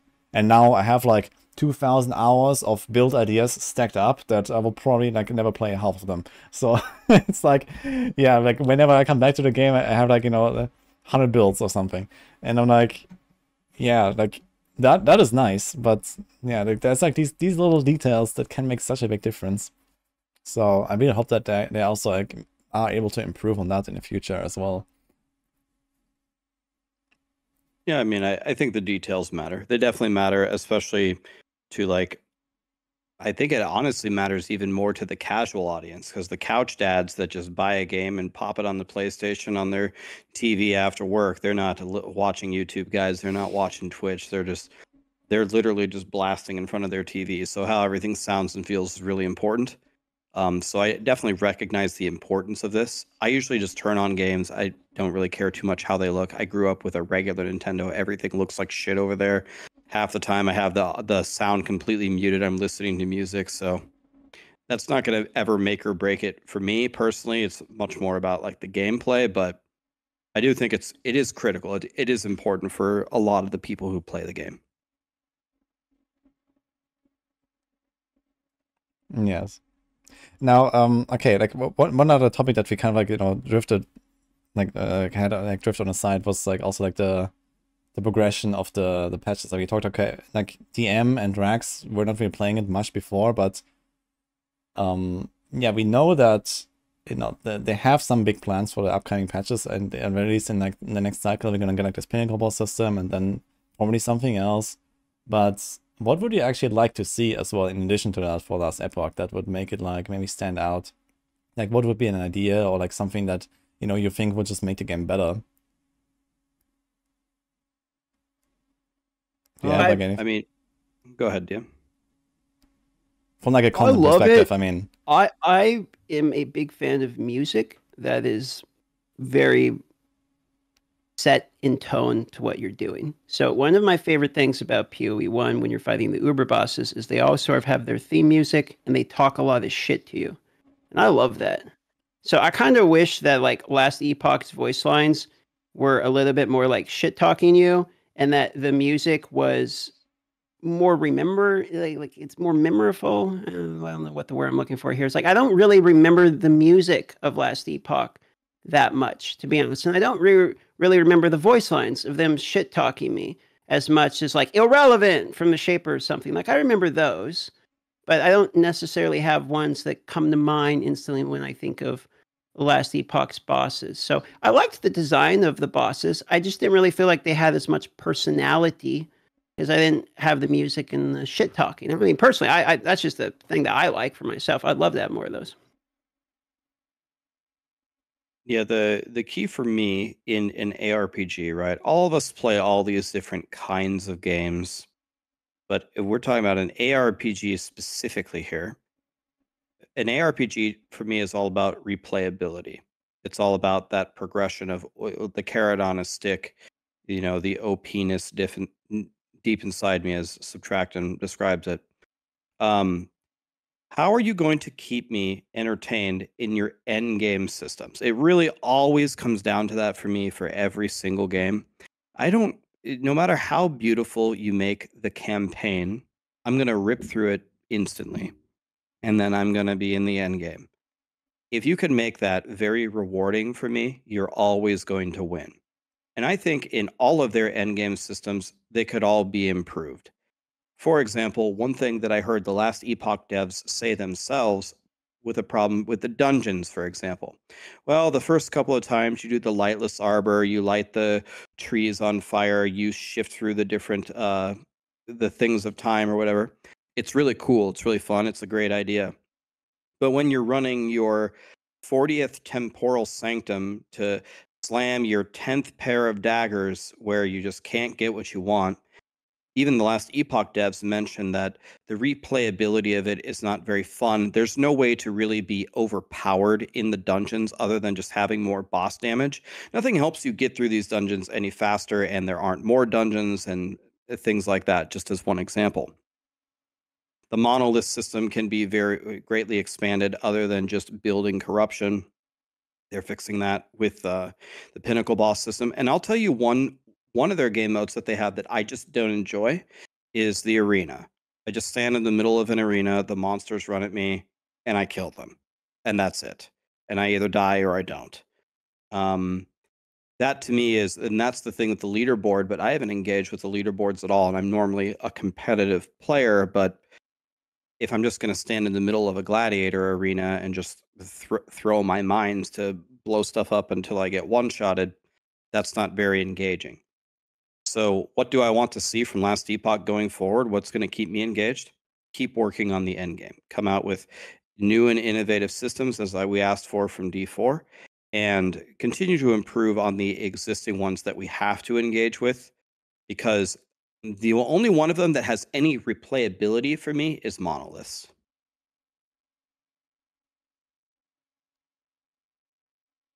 Yeah. Okay. I mean, absolutely. Yeah. Exact same thing for me is, uh, I don't know what the right term to be like horizontal. I guess you could call it horizontal content, but I mean, to make the PoE comparison, I, you know, when PoE had much less content, I found it much less engaging. Like I bounced off the game initially, and it was just after years of them adding lots and lots of potential things that you can do. And like even within the mapping system itself, you you have 10 years it's 10 years of content of, you know, four four times a year on average, 3 to 4 times a year they would add something and most of that went core. So it's like am I going to find essences or strong boxes or legion or blight or breach like so many different things. And then not only that, I can engage in delve, I can engage in data. And it's for me it's just like making the choice of what you can do that's like fun and engaging in the game that's unique. And i every day i can choose to do something different. And like i'm i'm just not a uh, a numbers go up only type of guy. I like that's why the it was encouraging when rax said about d4 the guy saying the frost the frost frozen orb that shoots frozen orbs. Something that changes the gameplay. Some like something that i aim for that's not just number go up but it's something that feels like a distinct unique feel and whether it's doing something in the end game or finding items that holy shit like i didn't even know that this was so creative that they tra- drastically transformed the way that the skill works. And there's a good amount there's more than of that in last epoch for release game than i would expect. Like i think they did a decent job of that but i would keep leaning into that and keep the horizontal growth of like variety of things to do because that's what's going to keep people a wider variety of people engaged for longer as well. Because number go up is is fine but I think at least for me, I got to like just a couple hundred corruption, and I was just like, eh, like, do I really want to just run this one till I get the perfect blessing? Not really. It's not that engaging. But if I could craft the monolith, like do something crazy, or like in the monolith, I don't know, sacrifice a really good like a three LP unique in this monolith to like supercharge it, and it turns like the whole thing turns dark and red, and then it's summoning bosses or some crazy shit. Like, all right, let's fucking go. Um, like I, I think if they really lean into the system and build it out in weird, wacky ways, then that's that's where a lot of their long term sustain is going to come from. Yeah, I also agree that I think especially Monolith system is probably like the main in-game system that they have, and this way I can put a lot of stuff in there, right? Like the echoes themselves are kind of like just kind of like void of really anything to do. It's like you rush to the objective in like 20 seconds sometimes, and that's it, right? And there's there's no like a legion or a breach or an expedition or to kind of like keep you there. Uh, there's like nothing like that, right? So they can do stuff like that. And yeah, there's like some more meta progression system as well, right? Like, you know, an Atlas passive tree kind of thing or like, you know, Atlas progression. I mean, there's a bit of this with like the corruption pushing and the blessings, I guess, but not really. But yeah, they could like add, add some like overarching progression goals as well that you kind of complete as you do the other grind, and then the other grind will feel like not so hollow, I guess, right?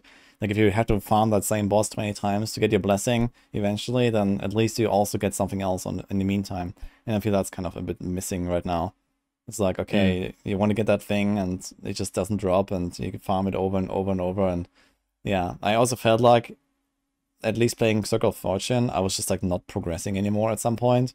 Like I decided on my first character, I played a Falconer, and I was like mega blasting, rushing to 100 and so on. And I was like, okay, let's just go as far as possible with this character and do everything and, you know, do the tier 4 dungeons and, you know, like try to push the, rank one in the arena and you know get to a thousand corruption and all that. And I did that, and yeah, it was kind of like okay, like 30, 40 hours in, I was kind of at the point where my character just like completely stopped progression. I was just in a, in a dead end, and I didn't find a single upgrade for like 50 hours, even though I'm still like that far away from the actual potential of items I could get. And I felt like I just couldn't get any upgrades at all, even with like all the investment and the favor and, and the, the um, prophecies and everything. Like nothing happened until like 50 hours later, like a belt dropped that gave me like 5% more HP or something. So um, yeah, it, it kind of feels like there's like also like something like missing where I want to keep grinding. Because if I think about doing that thing again with another character, I'm just going to stop by the time I hit 100. if not before that, because I feel like there's like too much of a step up in like you know the RNG needed and the progression and just kind of like I, I feel like I'm kind of stuck very early with my character. I just can't get uniques. I can't get you know free LP or two LP on that thing that I really want. And even if I get that, there's a high chance I'll I'll miss the slam, and I'm gonna feel bad about it, and I have to go back to the grinding that unique again for ten hours or something like that. So it's like, yeah, it's like some middle step missing. I feel. And then there could be also like some more tail end progression, I think, long term as well. Yeah, a big thing for me is the um I don't love infinitely scaling content. Uh I one of the cool things about Path of Exile is it does have delve if you do want to infinitely scale, but there's something satisfying about and this is one of my problems with Diablo 4 was the monsters scaling with me. Um, one of the things I love is feeling more powerful and being able to go back and like find that level one rat and just smack it and and feel more powerful. And uh, like if you get that big gear upgrade, you want to feel stronger. Like it for me in PoE, I'm motivated to get that double corrupted plus one power charge helmet because I will notice I will notice that boss dying, uh, you know, a couple seconds faster. It is very significantly noticeable, and that that boss is a static thing that you're testing your build against. Whereas if you just keep pushing corruption, you keep pushing arena difficulty, you're always pushing your character against the, you know, as far as agree. it can go. Yeah, and that was my problem with Greater Rifts in Diablo 3 is like I would push GRs and I was like, all right, well, I'm just sitting here spamming crowd control and I'm watching them slowly tick down. I want, you know, give me an Uber Diablo or something to test my build against and feel my power increase. And I, I think that's, I, I just don't love infinitely scaling content.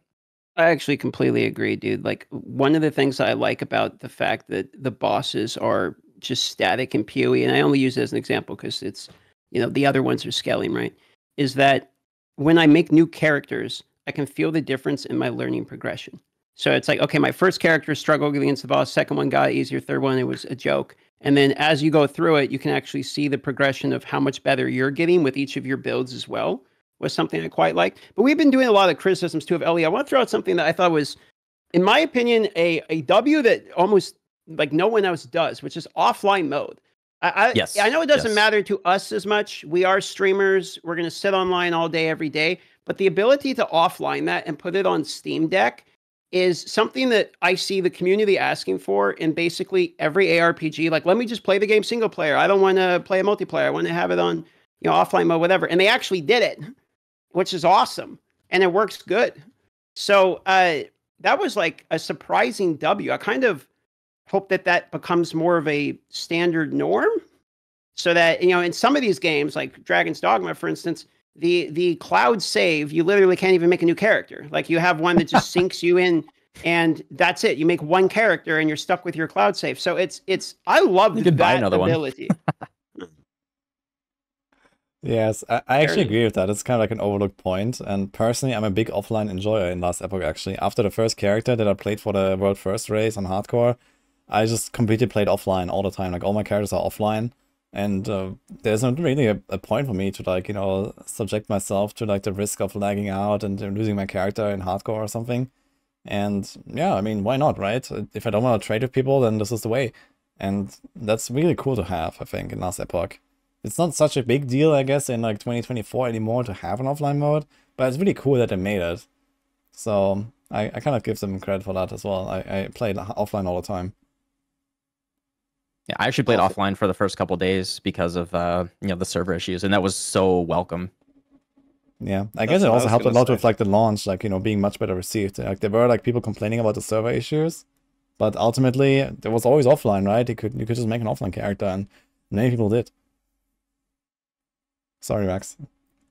No, I mean that, that I was going to say what Subtractem said. Uh, offline mode kind of saved the day for the first week. One thing that Last Epoch did, which I think surprised everybody, is their retention numbers were insane. They had Mm. like whatever 200k in the first week, and then they had 200k in the second week, and everyone was screaming about how bad the servers were. I just made an offline character, um, and uh, well, they didn't lose too many people, even though they didn't have the best start. So I think. Uh, that's not, obviously not why they made offline mode. They didn't make offline mode as a safety net for their launch, but a lot of people love it, so it's a W. Yeah, for sure. All right. Um, so in the interest of time, I'm gonna like shortcut the, the last few topics a little bit. So we also had planned to talk about you know like the the overarching like uh, ARPG landscape, I guess, with like D4, PoE, and LE, and now and what else is maybe on the horizon. Um, is there like any other games that you know guys are looking forward to, like especially in RPG genre, but maybe something else as well that you know would interest you that would also kind of like fit into discussion here? No rest for the wicked. Exactly what I was going to say. Oh, nice. Completely Yeah. No rest No for the rest. wicked. I, Go ahead. Sorry. no, no, go for it, man. Just adding I was gonna say. I was going to Machine Gun, No Rest for the Wicked, Titan Quest 2, Grim Dawn's getting an expansion, GTA 6. Uh, uh, did, in dare I say this? 2028. Hold on, let me look out my window to make sure that no one's gonna shoot me for this. Maybe the Diablo 4 expansion? PoE Oh. 2? PoE 2? Hmm? Maybe the Diablo 4 expansion will be good. I just lost a thousand followers for saying that. You can you can watch it go down as we speak. Yeah. Yeah, it's just plummeting. Yeah, no Rest of the Wicked definitely looks exciting. I didn't get to play it yet, but uh, I watched a few people. That definitely looks like. I guess it's also like even more extreme than PoE 2, right? With like the Souls-like feel and just like you know really slow combat, very methodical, and like kind of like one-to-one fights even sometimes that actually last a long time, right? So this is what I got from from that game as a vibe. It's like in like really Souls-like but isometric.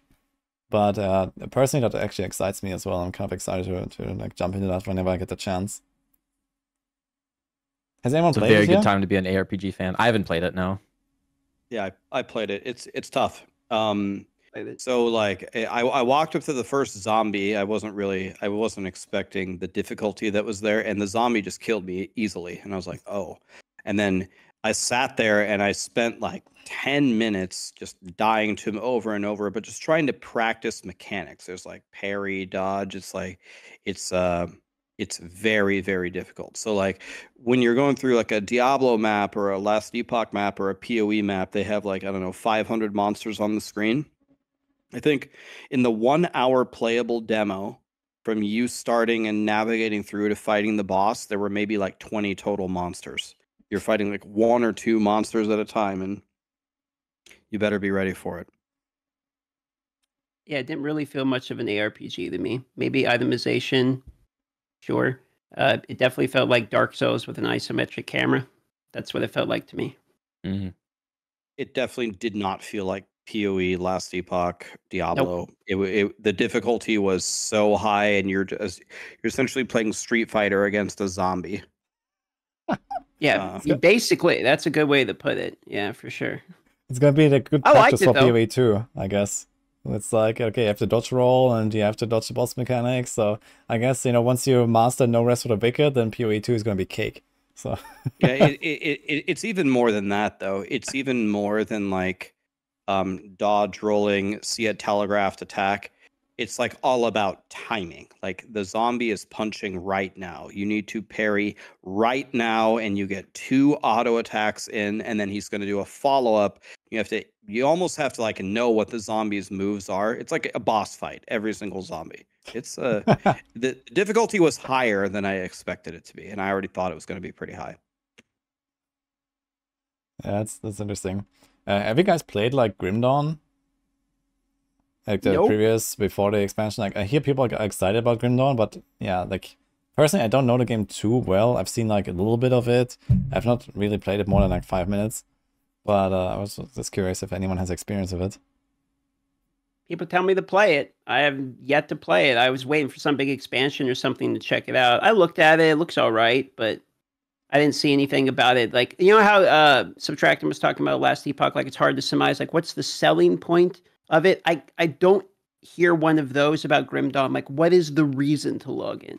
I think it has a pretty interesting class system where you can like combine two classes or something. So just if I remember correctly. So that's I- I like a think- really cool thing. I think somebody who really likes Grim Dawn is Alkaizer. He's like a big Grim Dawn guy. I've never played it. Um, a lot of people say the classes, and they said I think Alkaizer said it's either the end game or the progression system is the one that he likes the most. Um, but yeah, a lot of people say it's a great game. Uh, so I've heard some people call it Grim Yawn because they didn't really like it, but I hear much more people say that they enjoyed it. So I was gonna do a playthrough of the original game before the expansion and then jump into the expansion and try it. But I don't know. The, the hype in the chats go, that I've been hearing is seems like it's going to be a good one. I hear more good than bad. Same. Yeah, I'm quite kind of excited. It's like coming sometime this year, right? And there's also Titan Quest too. So how about Titan Quest? Have you guys played that? Nah. Nope. No, same Interesting, thing. man. People. I played the. Titan Quest One demo when I was a a wee lad, long time Yeah, and how did that go? What was your review? From uh, how long I ago? liked it until my mom made me go to dinner.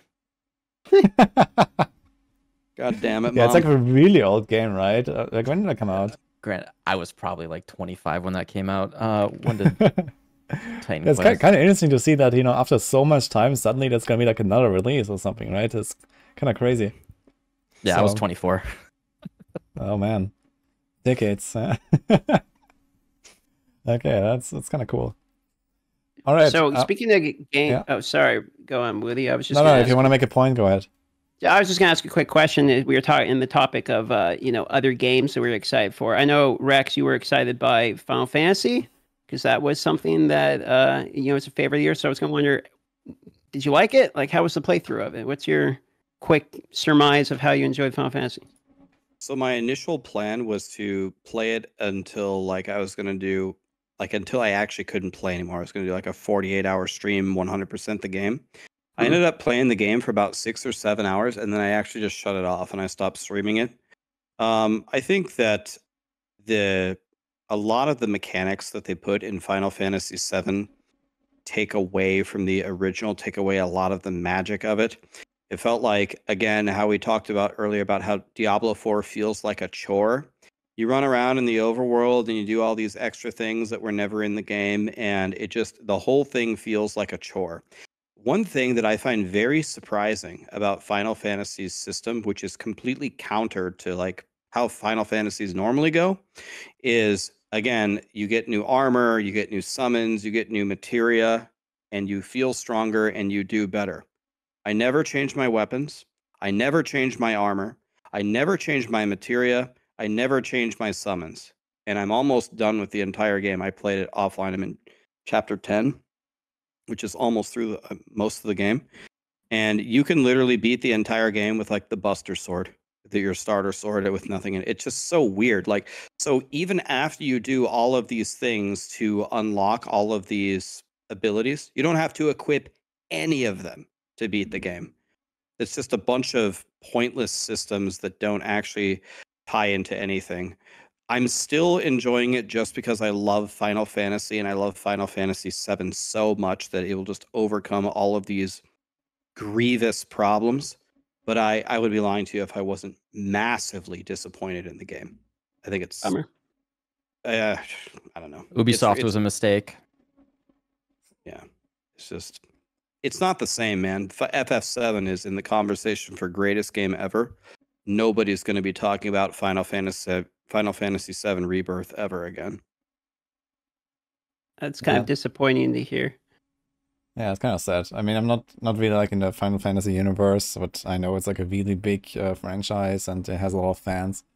So yeah, if they actually make like a remaster, it's kind of like this reforged thing that we talked about earlier, right? It's like, you know, you're waiting and for for that thing to come out, and then it's actually worse than before, kind of. It's like, yeah, like, why did they even put in the effort? Like, what's the point, right? Like, it's it's money. Yeah, like I mean, I have a whole thing about like media in general revisiting it. Like two of my favorite movies are uh like RoboCop and Total Recall, and like dear God, you know, just looking at these old IPs, these companies that still own them, look at how they just get rehashed, you know, 20 years later over and over again for nostalgia bait and just like no respect for the source material. It's we see it over and over again in in all different mediums and uh I don't know. I just I really believe in kind of like maybe you can do like a director's cut thing maybe, but sometimes that's even bad. Usually something was a masterpiece for a reason and you like can't improve it right? Uh, it's just it's there. It you can cherish it for what it was, but just trying to revisit that and try to remake it and do something is generally just going to make it worse and, and take away from the uh, magic. You're making me think of the Halo TV show, there, brother. Oh, oh, oh. Master Cheeks. I mean, I grew up with all the all the uh, straight to DVD or straight to VHS uh, remakes. Like we had we had Tomb Raider. We have Doom. Have you ever seen Doom with The Rock? Oh man, it's got first person shooter perspective.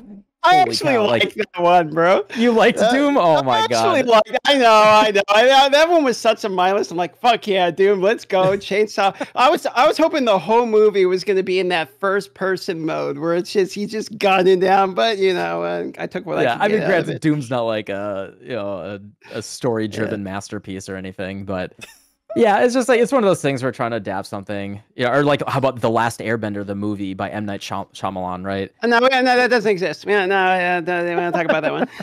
don't talk about that like, one. Talk, talk about abusing the source material, or how about Witcher uh, season two and three? I mean, we can we can just keep rattling them off, right?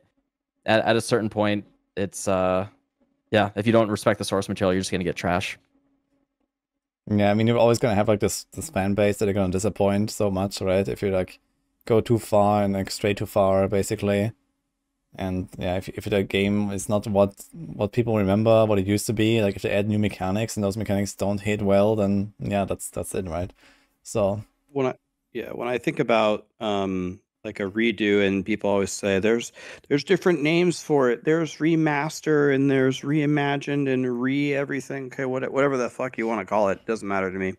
The one that I think um, set the bar pretty high which had a lot at stake but delivered beautifully was Vicarious Visions uh, version of Diablo 2. Thought Diablo 2 resurrected what mm. it felt like Diablo 2. It was just a beautiful version of Diablo 2. And they they went through they went back they flew to the old blizzard hq they opened up the old cabinet files they flipped through not just the art you know in the game but they read the files of okay what did the developers what are the little charms that they wanted to put dangling from this doorway? Here was the concept art here's how it actually looks in diablo 2 but you know the graphics there were so bad. What if i could make this actual charm you know dangle from this doorway and they had all these different um, videos going through the different areas of the town of here's what here was their vision here's what they came out with so we tried to make what they um, were going for. I thought the game is beautiful.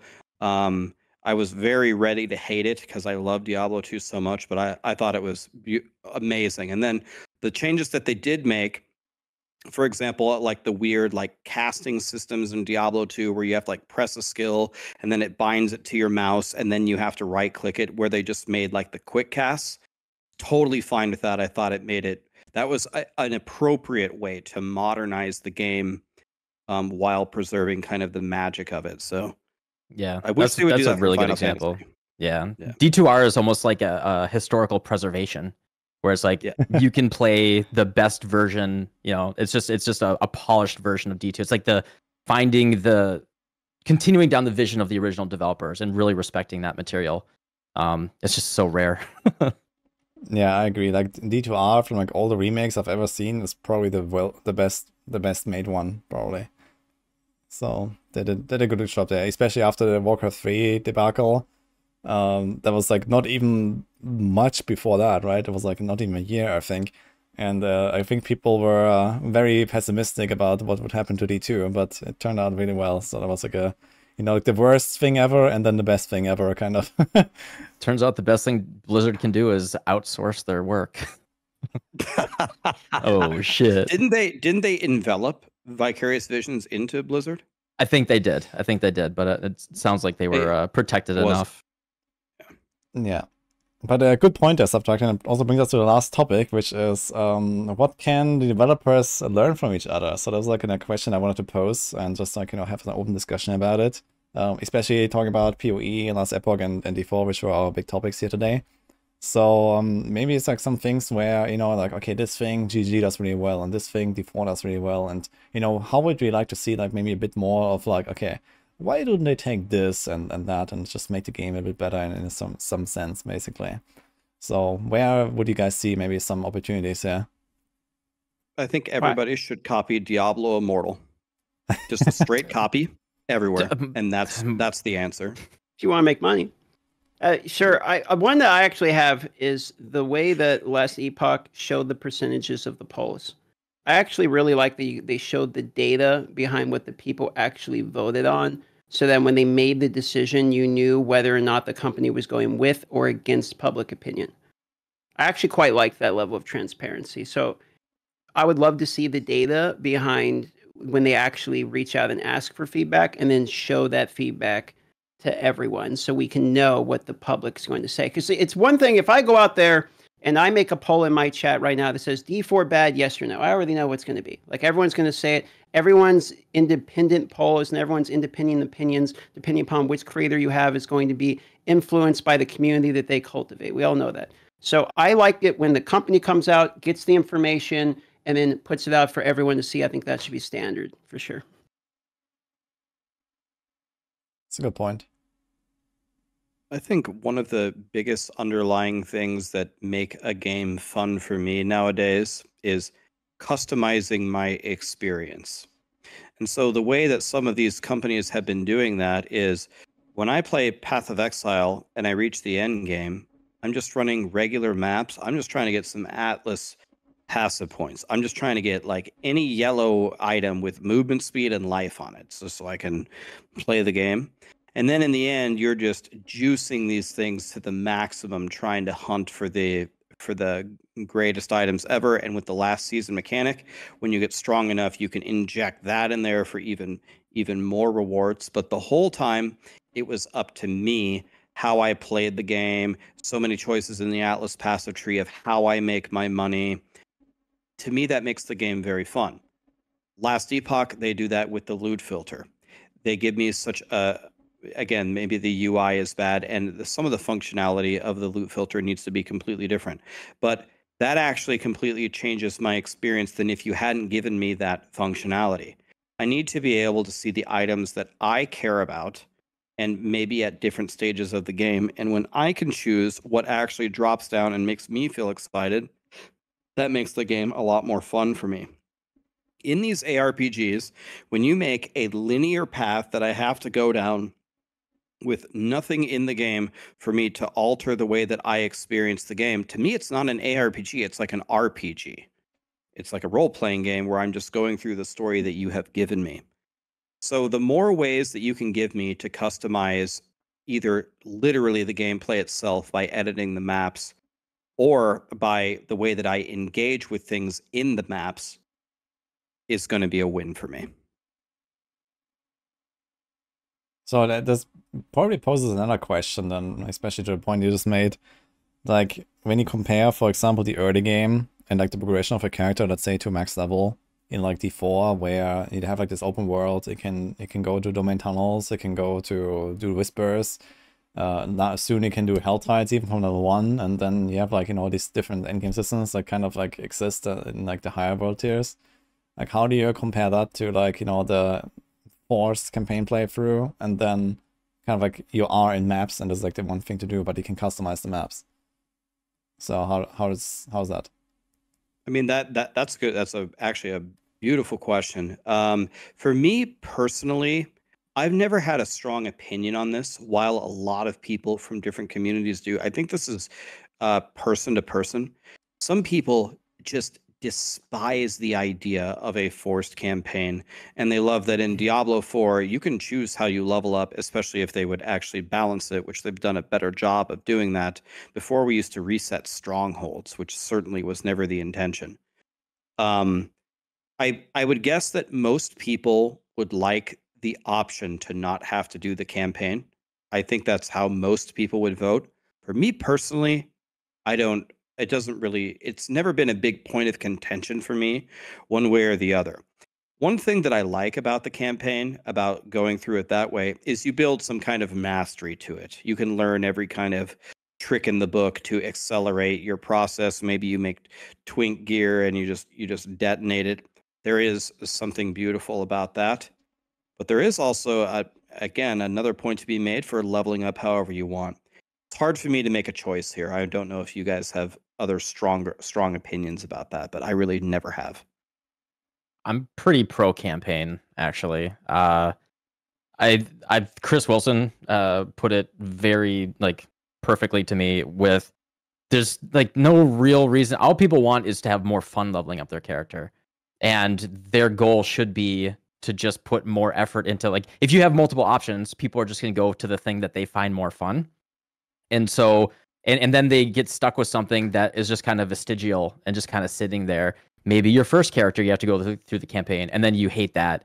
And they're like all right i can't wait till i love my second character. I can skip the campaign. And then you just have this one alternate path that you're always going to do on any subsequent character where instead you can just focus on trying to and i don't this is not really a thing that anyone's really doing right now but this is what chris said that they should do is just try to make the campaign more fun find a way to make it a, an interesting and engaging thing to do multiple times and I mean, for me, I find it I find it enjoyable. Like I, I actually really enjoy the the contrast of all right, I went through I have this character, level 100 character, blasting whatever, and now I'm starting from scratch. I get to go through that whole experience. Maybe I twink it, maybe I don't, and I get this level of mastery. I can time it. I can see, you know, I can do it deathless. I can uh, you know, get memorize memorize certain locations and pass and, and get better at it. And eventually, right, it at the end of the day, like you can get it to a time like th- they would be incentivized to make the time very, very similar anyway. So like if you could just do endless delve to level to to 70 versus doing the campaign, they would be incentivized as a developer regardless to still make it take five to 10 hours. And I get, I, as someone who's done endless delve races a few times, I think most people would probably get sick of that. you get sick of that too. And they're like, okay, well, you gave me the campaign in Endless Delve. Where's Endless Breach? All right, well now I'm stuck at Endless Breach. How about Endless Blight?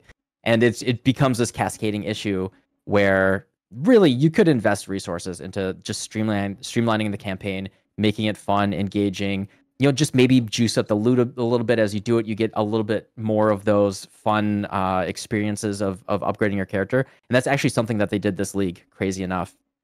And the Necropolis uh, announcement, they said there will be hidden encounters in the campaign now. And they showed off you can get like double corrupt temples during the campaign or you can get like accosted by a group of brutuses in like act 7 and you know maybe they'll drop like guaranteed uniques or something. And i think adding things like that to make it kind of engaging and unique for just like one focus path is generally going to be a better use of resources as a company than trying to maintain like three different things that everyone's equally bored of at the end of the day I think you put it really well, and I'm actually very excited to see the new campaign like on, on Friday when the league launches. And like, okay, like generally I'm kind of a campaign enjoyer. Like I don't really mind doing a campaign, and uh, I'm actually somewhat of a renown enjoyer in Diablo 4 as well, unpopular opinion. But I actually kind of like doing that. It's kind of like a one-time thing per season. But yeah, that is gone now. And yeah, I, I do appreciate that I can just like start a character and do a bunch of different things. But I also like that you have this kind of like you know, like kind of streamlined progression. Okay, you go through the campaign and kind of like how you said it, like, you know, you you have some, this, this sense of familiarity and this kind of sense of progression and, you know, okay, now it's this boss, now it's this boss, and every time it's going to feel a bit different depending on the build, depending on the drops that you had. And I kind of like that, to be honest. And if they actually spice it up with some cool little, you know, text here and there, and there's like, you know, this encounter, and you know, like suddenly there's like, they show like this omen, and you get like Soul Eater for five minutes, uh, you know, that that's gonna be like this kind of like memorable, fun part of the campaign where you had this buff, and then maybe there's later on you're gonna get like some cool choice of a unique, and you know, can use that to like speed it up. That'll be kind of fun. So I'm really excited to see what they did there, and maybe they're gonna do more like that in the future. And this could also be like kind of like a model for PoE 2, I imagine. Yeah, I think I think to play devil's advocate here, I'm not saying that I agree with this, but in having conversations about this over the years, people will say things like, "Well, I go through the campaign and I get to the end game system, all the beautiful systems that Path of Exile has, and we as content creators, we we like to game probably a lot more hours than most people do, and we we also can because it's our job. But the thought for a lot of casual people of if I want to make an alt, I have to go through another 10 plus hour campaign just so I can get to maps is just devastating to them. And another thing that is difficult for me to solve as a question about um, leveling up again through the campaign or multiple different things is at the end of the day, what I want to do is uh, the progression system of a game usually has all the best stuff in the end game. So usually whenever I make a second character, my only thought without any any concern for fun is how do I get to the end game as fast as possible just to get the really good stuff? So it seems like one way that Path of Exile is trying to solve that very very difficult question to answer is by putting some very valuable things and some surprises in the campaign which is exciting and it will it will bring back some people and that that is working toward a solution. But that overarching problem of what is better than just rocketing to the end game on your second and third characters just to farm the juiciest content and everything else is just sitting in your way i think that that you know makes it very difficult for a campaign to be very very enticing for people. Um, like one, it like it's not like Diablo 4 does leveling very well, but at least one option in Diablo 4 is when I'm out of gold while I'm leveling up, I can go do a Tree of Whispers, and then I'm going to have gold for the end game. Um, just to play devil's advocate of some some arguments that some people may make. I think that's totally fair, um, and I think that's what I, I hope that they're trying to do with the the new stuff that they're adding in the campaign that might accelerate you getting to that end game and maybe be usable within the end game as well. Like if you could get a double corrupted helmet that has power charge and life or something on the implicits, that could actually be just a nice valuable item in a moment of joy that can happen. The, I think that's the big thing. Is right now the campaign there's no moments of joy. It's like very streamlined and you're just okay, I know I can do this in 5 hours. I've practiced it. I got my you know, I got my POB on the other monitor. I'm following the skill points perfectly, and you know, I'm just gonna do it. And then okay, and then I have my plan for unlocking the Atlas, and then I'm gonna start to blast. And you you just have this set five to ten hour period where you know it is a chore. There is nothing fun, objectively like fun and unique or interesting that's gonna happen. I'm just gonna get through that chore. And yeah, if something could happen, like a cool double corruption or uh, you know, a semi guaranteed, like a, any unique could drop, and you could be bad, could be good a chance for something fun and interesting to happen. Um, that will, I think, that could make a very big difference. For yeah. me, it kind of depends upon uh, the execution and focus of a campaign. Like the more that these campaigns have fetch quests, escort quests, like annoying things to do, the less I want to do them. Is what I find myself like. I'm sitting here thinking about it. I'm hearing these arguments. I'm thinking, you know, there's some really good points on both sides. But then I ask myself, do I want to do that camel quest again in Diablo 4? Do I want to follow the snake through oh, the forest again? And I find myself telling myself, no, I actually don't want to do that. But whereas in, I'm thinking about PoE 2, and we got to finish the campaign now and see what we think. But I'm thinking, okay, the bosses are enjoyable. So I could see myself enjoying replayability in the campaign. I think it depends upon the game's execution of the campaign itself and whether or not I find the campaign as enjoyable in a replayable fashion. Because to Rax's point, by the time I get onto alts in whatever given league or something like that, the willingness of me to run a campaign over and over again starts to diminish with the more characters I create. Uh, so as long as there isn't too many 100% like you know optional but not really like escort quests and shit like that i don't mind a campaign as much as long as it's killing some bosses blasting through and i don't feel horribly handicapped by doing it Yeah, it's fair points for sure. And mm-hmm. I, I, think like making it replayable and like fun every time you do it is very important. And I think this is probably one of those big things that really holds people back from enjoying it sometimes. Like even like the thought of like leveling one more character for the new league, like the first league starter, already like puts people off so much. I feel sometimes, and I feel like you know doing like one or two campaign playthroughs in like you know three months or something is not a big deal. But I also understand I'm not like everyone, so but yeah, is there like any other points that we, we could talk about in terms of like, okay, like, you know, what does this game do really well that maybe the other game developers should maybe like take a bit of notes from, for example, like outside you of the know, stuff?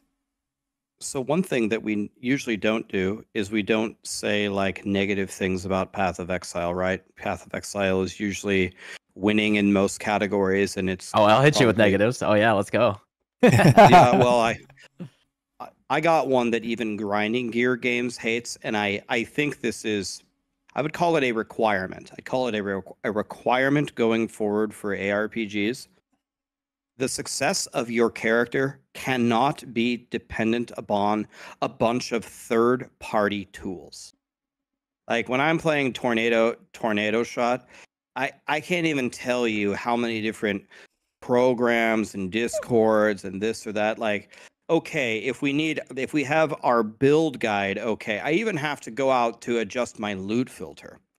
Um, this is probably one of the things that i find most demoralizing about path of exile and if i find it demoralizing i am much more willing to do it to get the optimal answer than the average gamer. The average gamer is not going to do jack shit about tabbing out to have all these resources open just so you can play the video game in front of you correctly.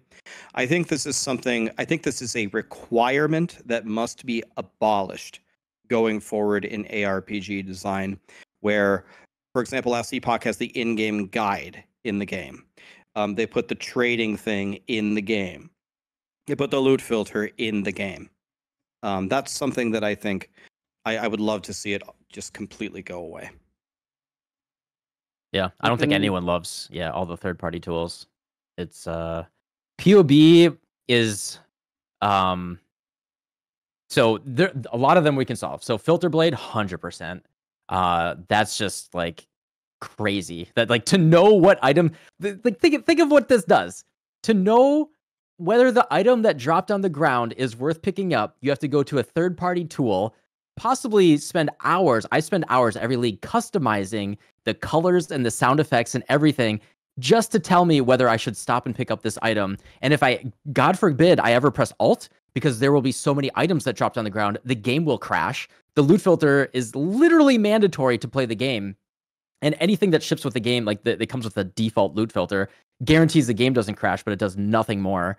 Uh, that's crazy. Uh, and then the other, I think the other one that would be easily replaceable for them would be Awaken PoE Trade. That that's the one where like, okay, you guys own the trade website. You you guys you have that like that that is hosted on your own website. That whole interface of hey, let me price check this item. Let me check off what things I want to price check against, and then hey, whisper these people. I mean, oh, that's already so esoteric. We we shouldn't get into trades like something else. Um, but that whole thing, like the fact that you have to have a second browser, a browser open, and then a third party tool just to tell you what to type into the browser to find the item that you dropped on the ground and to find the price of that. Like that's they they own the website. That is all stuff that they could integrate. And just getting rid of those two third party tools, hundred percent. I think that would go such a long way. Um, POB is a whole different beast though, and that's that's kind of a consequence of the complexity of the game. And I actually don't like that that's a that would be a, a a different discussion, I think. But yeah, we we could definitely simplify a lot. I'd be interested to see, to your point about price checking, et cetera, with trade, because of the way trade's going to work in PoE two, if they could actually implement something like that fairly easily, considering that we're getting what the auction house, et cetera. oh, trade, so correct? it already exists. It already exists in the console version of PoE one. Like they all they have to do is put it in the PC version. Like the crazy thing, look up the Chinese version of PoE one. It's it like it's got a lot of pay to win stuff. It's got like some awful stuff, but the Chinese version has crazy things, all sorts of crazy things and interfaces and everything. And the console version has like actually a pretty clean trade interface already. They they are 100% capable of doing this and implementing it without too much effort, like not an insane amount of effort. But they're just like, well, hey, it works. Like apparently they have we call it the trade guy um, one one league, uh, we we asked for some feature. I forget what it was. I think it was searching for crucible trees. Yeah, because your, your weapons. Yes. Yeah, yeah. And so Chris was like, "Well, uh, I don't know if that's going to be on league release yet. Let me ask. Let me see if the trade guy is going to have it ready." There's apparently just one guy that works on the entire trade website. Like the whole foundation of the economy, he's just Atlas holding this website on his back. so yeah, it's it's uh yeah, twine and twine and sticks for sure.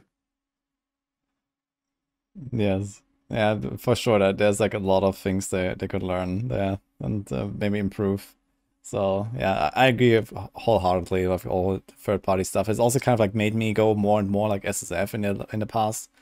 Like I used to trade a lot more, and I just came came to realize that I don't want to do that anymore. I don't want to care about the economy. I don't want to go and whisper a thousand people for everything. And you know, I kind of like just went and I didn't like directly play as SSF necessarily very much, but I kind of like just try to interact with it as little as possible, and that made me enjoy the game a lot more.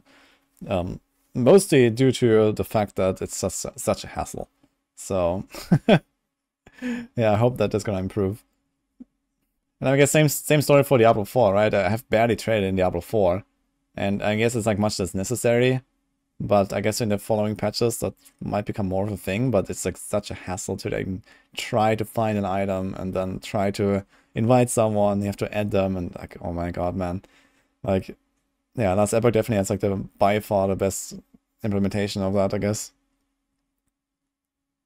Return of the real money auction house in Diablo 4 incoming. I made some good money off that thing.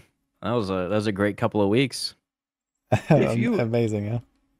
I mean, if if you just think about it in in the most basic fundamental sense, without diving in at all, imagine that in order to correctly play a video game, you need to tab out of that video game.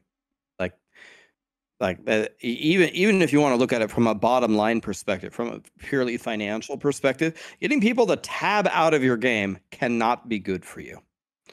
So uh yeah fair, fair point i guess okay yeah, it's one of those things where yeah if you look just if you look historically they've been very they don't want this stuff in the game that's the other thing is I I don't I I anticipate now that Mark is the game director of PoE one instead of Chris that we may start to see some of these more change these bigger changes happening. Like we already see all this quality life stuff happening this league. Um traditionally they were like trade the only way you could trade was go to Lioneye's Watch and, and talk in global chat and be like, hey, I have uh I have a 40% res gold rim. Does anyone have 10 chaos? And that was the only way to trade. And then people were like, this sucks. And GGG was like, all right, well, we'll let you put items, list them on the forums. And so like the only way to trade was like, all right, I'm gonna send the person a DM on the forums, and then maybe on the third blood moon next month he'll come back and uh, we can log on at 6 p.m. and meet each other in Lioneye's Watch. And it's just been the the ball's kind of been rolling from that, where you know the, what the vision is and what they want is like really close to like early Diablo 2 trading you know, pre pre uh, Stones of Jordan even, and people are like, all right, I'm gonna I'm gonna put a thousand gold on the ground right here. You're gonna drop the plus one skill charm over there, and we're gonna walk. You know, gonna do like a high noon, and we're gonna walk past each other, and we're gonna we're just gonna pick up our items on the other side, right? And that's like kind of sure, vision. And you make sure you're going outside because then you can teleport back inside and get both items. yep, that, yep that guy that with the Enigma chest. Yep, that Enigma. Oh god damn, yeah. yeah. Oh, so, oh, but but but that raises a philosophical question, though. So, this is going to be deep. So let, let's think about this. If Path of Exile does not implement trade in the game, but people trade in Path of Exile via third-party apps, is trade in Path of Exile? It's like Schrodinger's trade. What it, it is it in the game? or isn't it in the game? Well, if I can right click on somebody and click trade, it's probably in the game.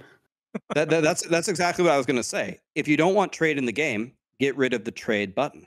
Yeah. Why is there a trade button if you want to get rid of it? There is trade in the game, right? Because you can go on third party and trade. So I mean, we've reached an inflection point here. Take away the trade button, or help us. You know. yeah. No, I'm I'm with you. I'm I'm pro quality of life for sure. That it's uh the fact like awaken POG. I still every league I get dozens of people being like, "What's that thing that you use in a price check?" And I'm like, "How the hell are you playing the game? You don't have awaken PoE trade? What the hell?" Yeah, it's, I don't. the game's like, like, unplayable without it. Every Yeah. time I price check something, I get exactly that. Like, e- like even me, like you know, when I casually stream like some PoE here and there or something, that's like, hey man, what is that? Like, I've been playing PoE for so long, I, I haven't seen this, and like, whoa, like Yeah. it's kind of crazy to think about. But yeah. but yeah, I totally agree. I think that GG has earned a lot of like um like you know pluses, I guess, from this league and from the the past few leagues where they just implemented some more like quality of life stuff, like all this like you know shift, control, click, a, stack of currency, and you know like these kind of things. I think they just make the game better with no downside whatsoever, right? Like you know this is how the game works people do trade and you know it just sucks that you have to click on like you know your chaos like 200 times to fill up your inventory and then put it all in the trade window and yeah just these little things but they have such an impact right and it's kind of crazy to think that the game has worked for a decade in a certain way and now they're finally changing it. Like these, these little things that actually have such a huge impact like it's it's kind of wild. Well also like these other changes they made over time like you know for example dropping like stacks of small currency instead of just individual like 10 scrolls and 10 transmutes everywhere and like these little things right? But they're so important i feel and they don't take anything away from the game. They can only make it better. So yeah kind of crazy how how long it took for some of them and i guess how many more opportunities there are still in in poe right to, to implement stuff like that It's really interesting. Yeah, old school sensibilities kind of carrying things through all this and that that push and pull and like the the way that it works. Like so when you guys were talking about last epoch and like I have the I'll have the very opposite take here. It's not a very strongly held take, just to, to hold on. But the whole like pulling the community and listening to them, fuck it. No. Like I actually don't do that. Um I actually firmly believe in no, as a large corporation, whatever, sure, you know, do the thing for them.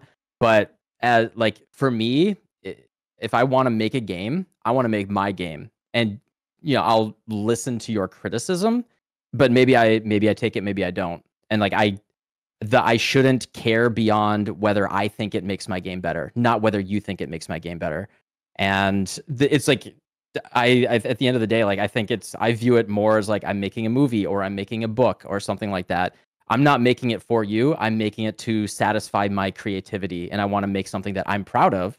I want to make it the best that i can. I definitely want to have like editors and pre-readers and people playing it and like get ideas. Like you you can only make things better through collaboration but there's there should be a hard line where the actual creative vision should hold steady. And like that that is actually a thing i respect a lot about ggg is we're like yeah you all are going to hate this. We don't care. Uh, this this is our vision for what we think is an awesome game and we're going to make this as as our game. And i it doesn't matter who the developer is like as, as long as it's strongly held creative vision that is someone's you know that is their passion project that's what they want to make i will respect that even if i hate the product in the end way more than some corporate committee designed um just you know corporate product that's just there to make money so yeah i yeah i just don't really care what the users think um I get- beyond me- you know ideas Okay, can I can I ask you a question on that Subtractem? Yeah. Real quick. Okay, so do you think that last ep- what last epoch did is maybe maybe does not interfere with what you said? So you said gaming company has their vision, they make it for themselves. What I what I envisioned that this poll that last epoch did was is they told the community what they were going to do. We are going to fix the bugs in our game and we are going to fix the overpowered builds, whether it's by a bug or not. That is going to happen. The only thing that they let the community choose is the cadence in which how it happens. They only asked, oh yeah that's totally you- fine. Yeah. "You're good with that?" Okay, i'm that- totally good with that. Yeah i just there's is is blizzard the, who's the most guilty of doing this? There there have just been examples of games in the past i don't have an example in my head right now but i know there are times in the past where just the community uproar and people complaining and then the company kind of uh, or the designers kind of just following what they did making the game worse and like the actual vision for and like the soul of the game kind of got lost over time um kind of just making this corporate product in the at the end of the day. And it's just i i just don't want to see that happen. But yeah i, can mean so just saying hey should we yeah. I can see what you're saying about products that are like unique new products, and I'm sure that if you were meaning like Halo, for instance, you know, you have to respect the original IP. So it's it's the take is a good one. I think when you're making something that is like a unique, fresh vision, and then maybe when it comes to like stuff that's based upon other things, this is why we see the community like get more angry when you know, oh, but my nostalgia, like um, you're influencing something that, you know, like D4 as compared to D2, right? Would you say that in scenarios like that one, would you listen more to community feedback when it's based upon something that's not an original concept, but is a follow up on something previous? Because I think this is an interesting train of thought. Yeah, so I mean, I would I would just step all the way back and say if the thing sucks, then you're probably incompetent and probably shouldn't be in charge of the product project. yeah. Right? Like how how many people how many how much community feedback do they need for D2 Resurrected? Pro- like I don't think they were just running polls and asking the community like, "Oh, what exactly do you want?" Maybe they did. I could be wrong. The only thing But that I they, feel like go ahead. Yeah, go ahead. Sorry. Well, I was going to tell you the only thing that I can remember from Diablo 2 Resurrected that they asked the community is they asked they asked questions where they were considering deviating from the original game. Let me give you an example. One thing that the Diablo 2 community begged for them to change from the original one is when you open the cow level, if you kill the cow king, you can't open the cow level anymore. And people love to kill cows all day. And so Vicarious Vision asks, we can remove that if you kill the cow king, you can kill the cows as much as you want. Do you want us to? And like 90% of people said, for the love of God, let us keep cowing because you'd brick your entire character. Mhm. You can't do cows anymore. But I don't think they they did. You're right. They didn't do any polls about fundamental changes to the game unless they were deviating from the original title. Yeah, I Yep. think like using like this polling and like you know very like in imprecise topics and like you know very like you know something that maybe the developers themselves are unsure about. Like it doesn't really take away from the vision of the game when they make a poll in last epoch and say, hey, we're planning to nerf the stuff. Like, is this like what we should be doing or not? Like, you know, this is like kind of like a unique new situation, I guess they find themselves in. Like they have these overpowered builds, people are complaining that, you know, only those two builds are the, the thing to play and everything else is kind of left in the dust. And yeah, they didn't foresee this. I guess they were never, never in that situation. They probably also didn't really, you know, have like a an emergency plan for that necessarily, right? And then I think it's fine to like ask the community, like, what do you guys think? But you know, obviously, I- like for for like the POE standpoint, like okay, you know, POE, like we, we talked about GG taking risks and making crazy new league mechanics, and you know, sometimes it's hit, sometimes it's miss, and uh, this is just how they develop the game. And I guess if if they would go out of their way to like ask the community, okay, what kind of stuff would you like to see, and everyone says we want more Legion and Breach because that was awesome or something. Then you get, get a lot more mechanics that are just kind of like bland. Okay, mow down a bunch of enemies that spawn out of something, and that's kind of it. Instead of you know stuff like Blight or stuff like Necropolis or stuff like um, I I don't know what like Expedition or something, right? And um, yeah, we would probably never see these things if they like take like care too much about what the people think because maybe also like the, the game developers have like a lot more crazy ideas that they could implement and they also know what the possibilities are compared to just some some PoE enjoyer, right? Yeah, I, I have very um a lot of my background is in fighting games and old school RTS games. And there was there's just something very special about a certain vision of of a game kind of being released and and being um and not being constantly polished down and everything changing. Like I, I think Overwatch is actually a pretty good example. Uh, but if we start with like look at Brood War, right? If we're just gonna talk about Blizzard games, Brood War is so cool in that it's been out like s- there was a I think I forget the exact uh, Day Nine has a really good video on it. I forget the exact everything that was talked about, but it's basically I think it was like PV. I think no ZVT maybe. It was basically ZVT was impossible for Zerg for like ten years, and uh, you know this was a thing where if it was a live service game, they'd be like, oh ZVT is trash. We're gonna um, mutas get plus one damage, maybe you know, maybe Marines get minus one damage, and they're just to keep polishing it until the way that people are playing it, you know, this getting a fifty percent win rate. But what happened was like one day or like one guy like one Zerg player just studied like he went really hard. He just he went in the lab and he mm. figured out that you could do like a bounding box. You could do a bounding box and like M click all of your mutas. And instead of them grouping up as so like AoE damage would kill them, they would keep formation and then they would stay spread out so the AoE damage from the anti-air wouldn't kill the mutas. And then it totally shifted the matchup. It was literally a like 10 years later, someone got good and it changed the entire conception of the way that it worked. Um, and then on the flip side, you look at Overwatch, where Overwatch, uh, you know, it, it had some broken stuff, I think, in season one, maybe season two. Season three had this real, really beautiful balance. I think it was three or four, had this really beautiful setup of balance with a lot of like decent rock, paper, scissors, but it wasn't like hard, hard counters. You could outplay people. It was really, really fun. It was like the heyday of Overwatch.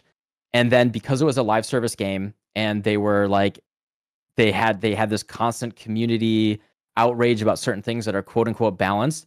The game got polished and and narrowed down into this like amorphous blob of a game for years and years where like goats was the meta forever everyone hated it like there were no dps people playing and the game really stagnated because it just it had this like the the creative vision was lost after a certain point and i'm always going to push a you know, i'm always going to push up against like that being lost just for the sake of a couple people kind of being unhappy you know, I'd rather see people take risks and be like, yeah, this thing has, you know, you get a power fantasy, you get have fun, and you know, we always go back to the, uh, you know, the OPness. Yeah, so I I I agree with like a, a point that you made a little bit earlier, where I again just kind of zooming out at the entire topic. I think if a gaming company doesn't have a clear vision for what they want to do with their game, I think it's going to destruct on its own. Um, you mentioned, you know, you were really surprised that, you know, Diablo 4 went through the turbulent times that it had and it still survived. I I agree with that take, and it looks like now they're starting to get an idea of the direction that they want to take it forward. But I think this is the number one reason why Diablo 4 has had so much trouble. Um, and to your point, I think there is certainly a there are certainly things that you can take inspiration from and ask the community to influence your game and there's certain areas where you should you should do it yourself um i think it's on a case by case basis and uh yeah i mean the companies that you one of the risks that you run for a path of exile who i don't know i don't know how they operate things they don't invite me to test it and they shouldn't invite me to test it because i don't know jack shit about the game right now this poe 1 but you sometimes you miss critical things like mm, you know the video that Karn made. So for me personally, it, there's no like right or wrong answer. And to your point, if they don't have a clear vision, I think the game's gonna die anyway. Mm-hmm. Yep, I'm with you. I think uh, community contact is good. Communicating with them, you know, learning learning from them, figuring out where you messed up. Like you know, the left mouse button thing that they did recently and you know like the call to arms miss those were huge misses and i you know just to give continue to give them credit you know mark was on was you know interviewed just a couple days ago and he was like yeah we messed up and we're going to keep working on it and we're going to try to that was a thing that we missed we took your feedback and we didn't realize the consequences were that bad and yeah there are things you know developers are not perfect. But you know to to my point he also said at the end of the day we still believe in the reason why we did this and the, we're keeping our like the core change, but we're going to try to address the fix to what got lost there and still make it so in the end it will be a better better for the game in the long run to just rip this band-aid off but then we're going to try to we're going to try to make up for some of the wounds that we inflicted as well yeah for sure like it's, it's definitely good to see that you know the developers can also like agree that that something was maybe a miss and a mistake and then you know come back from that maybe the next patch or something. And I think that also just makes them get accepted a lot more of their decisions and you know makes the community also just like feel more positive about you know maybe stuff they will try to do in the future to you know solve problems or come up with like cool innovative leagues or something right and it kind of gives you like a positive feel about the future when they say okay like this this didn't work out we're gonna try something else next patch or something so i think that's that's very very good attitude to have for the developers as well, instead of just saying, okay, we're gonna stick to this no matter what, and you know, we don't care. So if if like if it's clearly such a downside to the game, and everyone really hates that change, then vision or not, I guess you should definitely reevaluate and maybe provide another solution at some point. Okay, uh, do you have any other like last points to make here about you know the, the general like you know ARPG space or like the development or something? Because otherwise, I would wrap it up here. Uh, we had actually a very long discussion. it was uh, three and Yeah, it was- hours. Real, Yeah, real good good talk. Yes. it was a good chat, boys. Yeah, I had, I had a very good Thank time. Yes, and um, yeah, thanks for joining. So DM, Rax, and Subtractem, all really big um, ARPG blasters in you know multiple games, and I mean everyone knows these names, I guess, or probably most of them at least. You can also give everyone a shout out here if they have mods in chat. But uh, I appreciate very much for you guys to take the time to join us. Um, I'm very much looking forward to the Necropolis League myself, so I guess everyone here is gonna be blasting that and well, let's see what will happen with, with like the, the other games, the other patches coming soon. We talked about about D4, about LE, and PoE 2 on Horizon. So I think we have good times ahead, and this was kind of like the main reason for me to make this podcast. It's kind of like you know this uplifting, uplifting moment right now that I feel is like in the community with like you know lots of really good stuff is coming, and it was great to talk about all of it with you. So thanks, guys. Yeah, we have it is a good time for ARPGs. Last Epoch launch into PoE New League into the PTR for D4. It's gonna be a good month, boys. Appreciate you guys. Keep blasting. Heck yeah, Thanks for let's do it again. Yes. Cheers, everybody. all right. Have a good Catch one, you guys guys. later. Yeah. Bye. bye bye.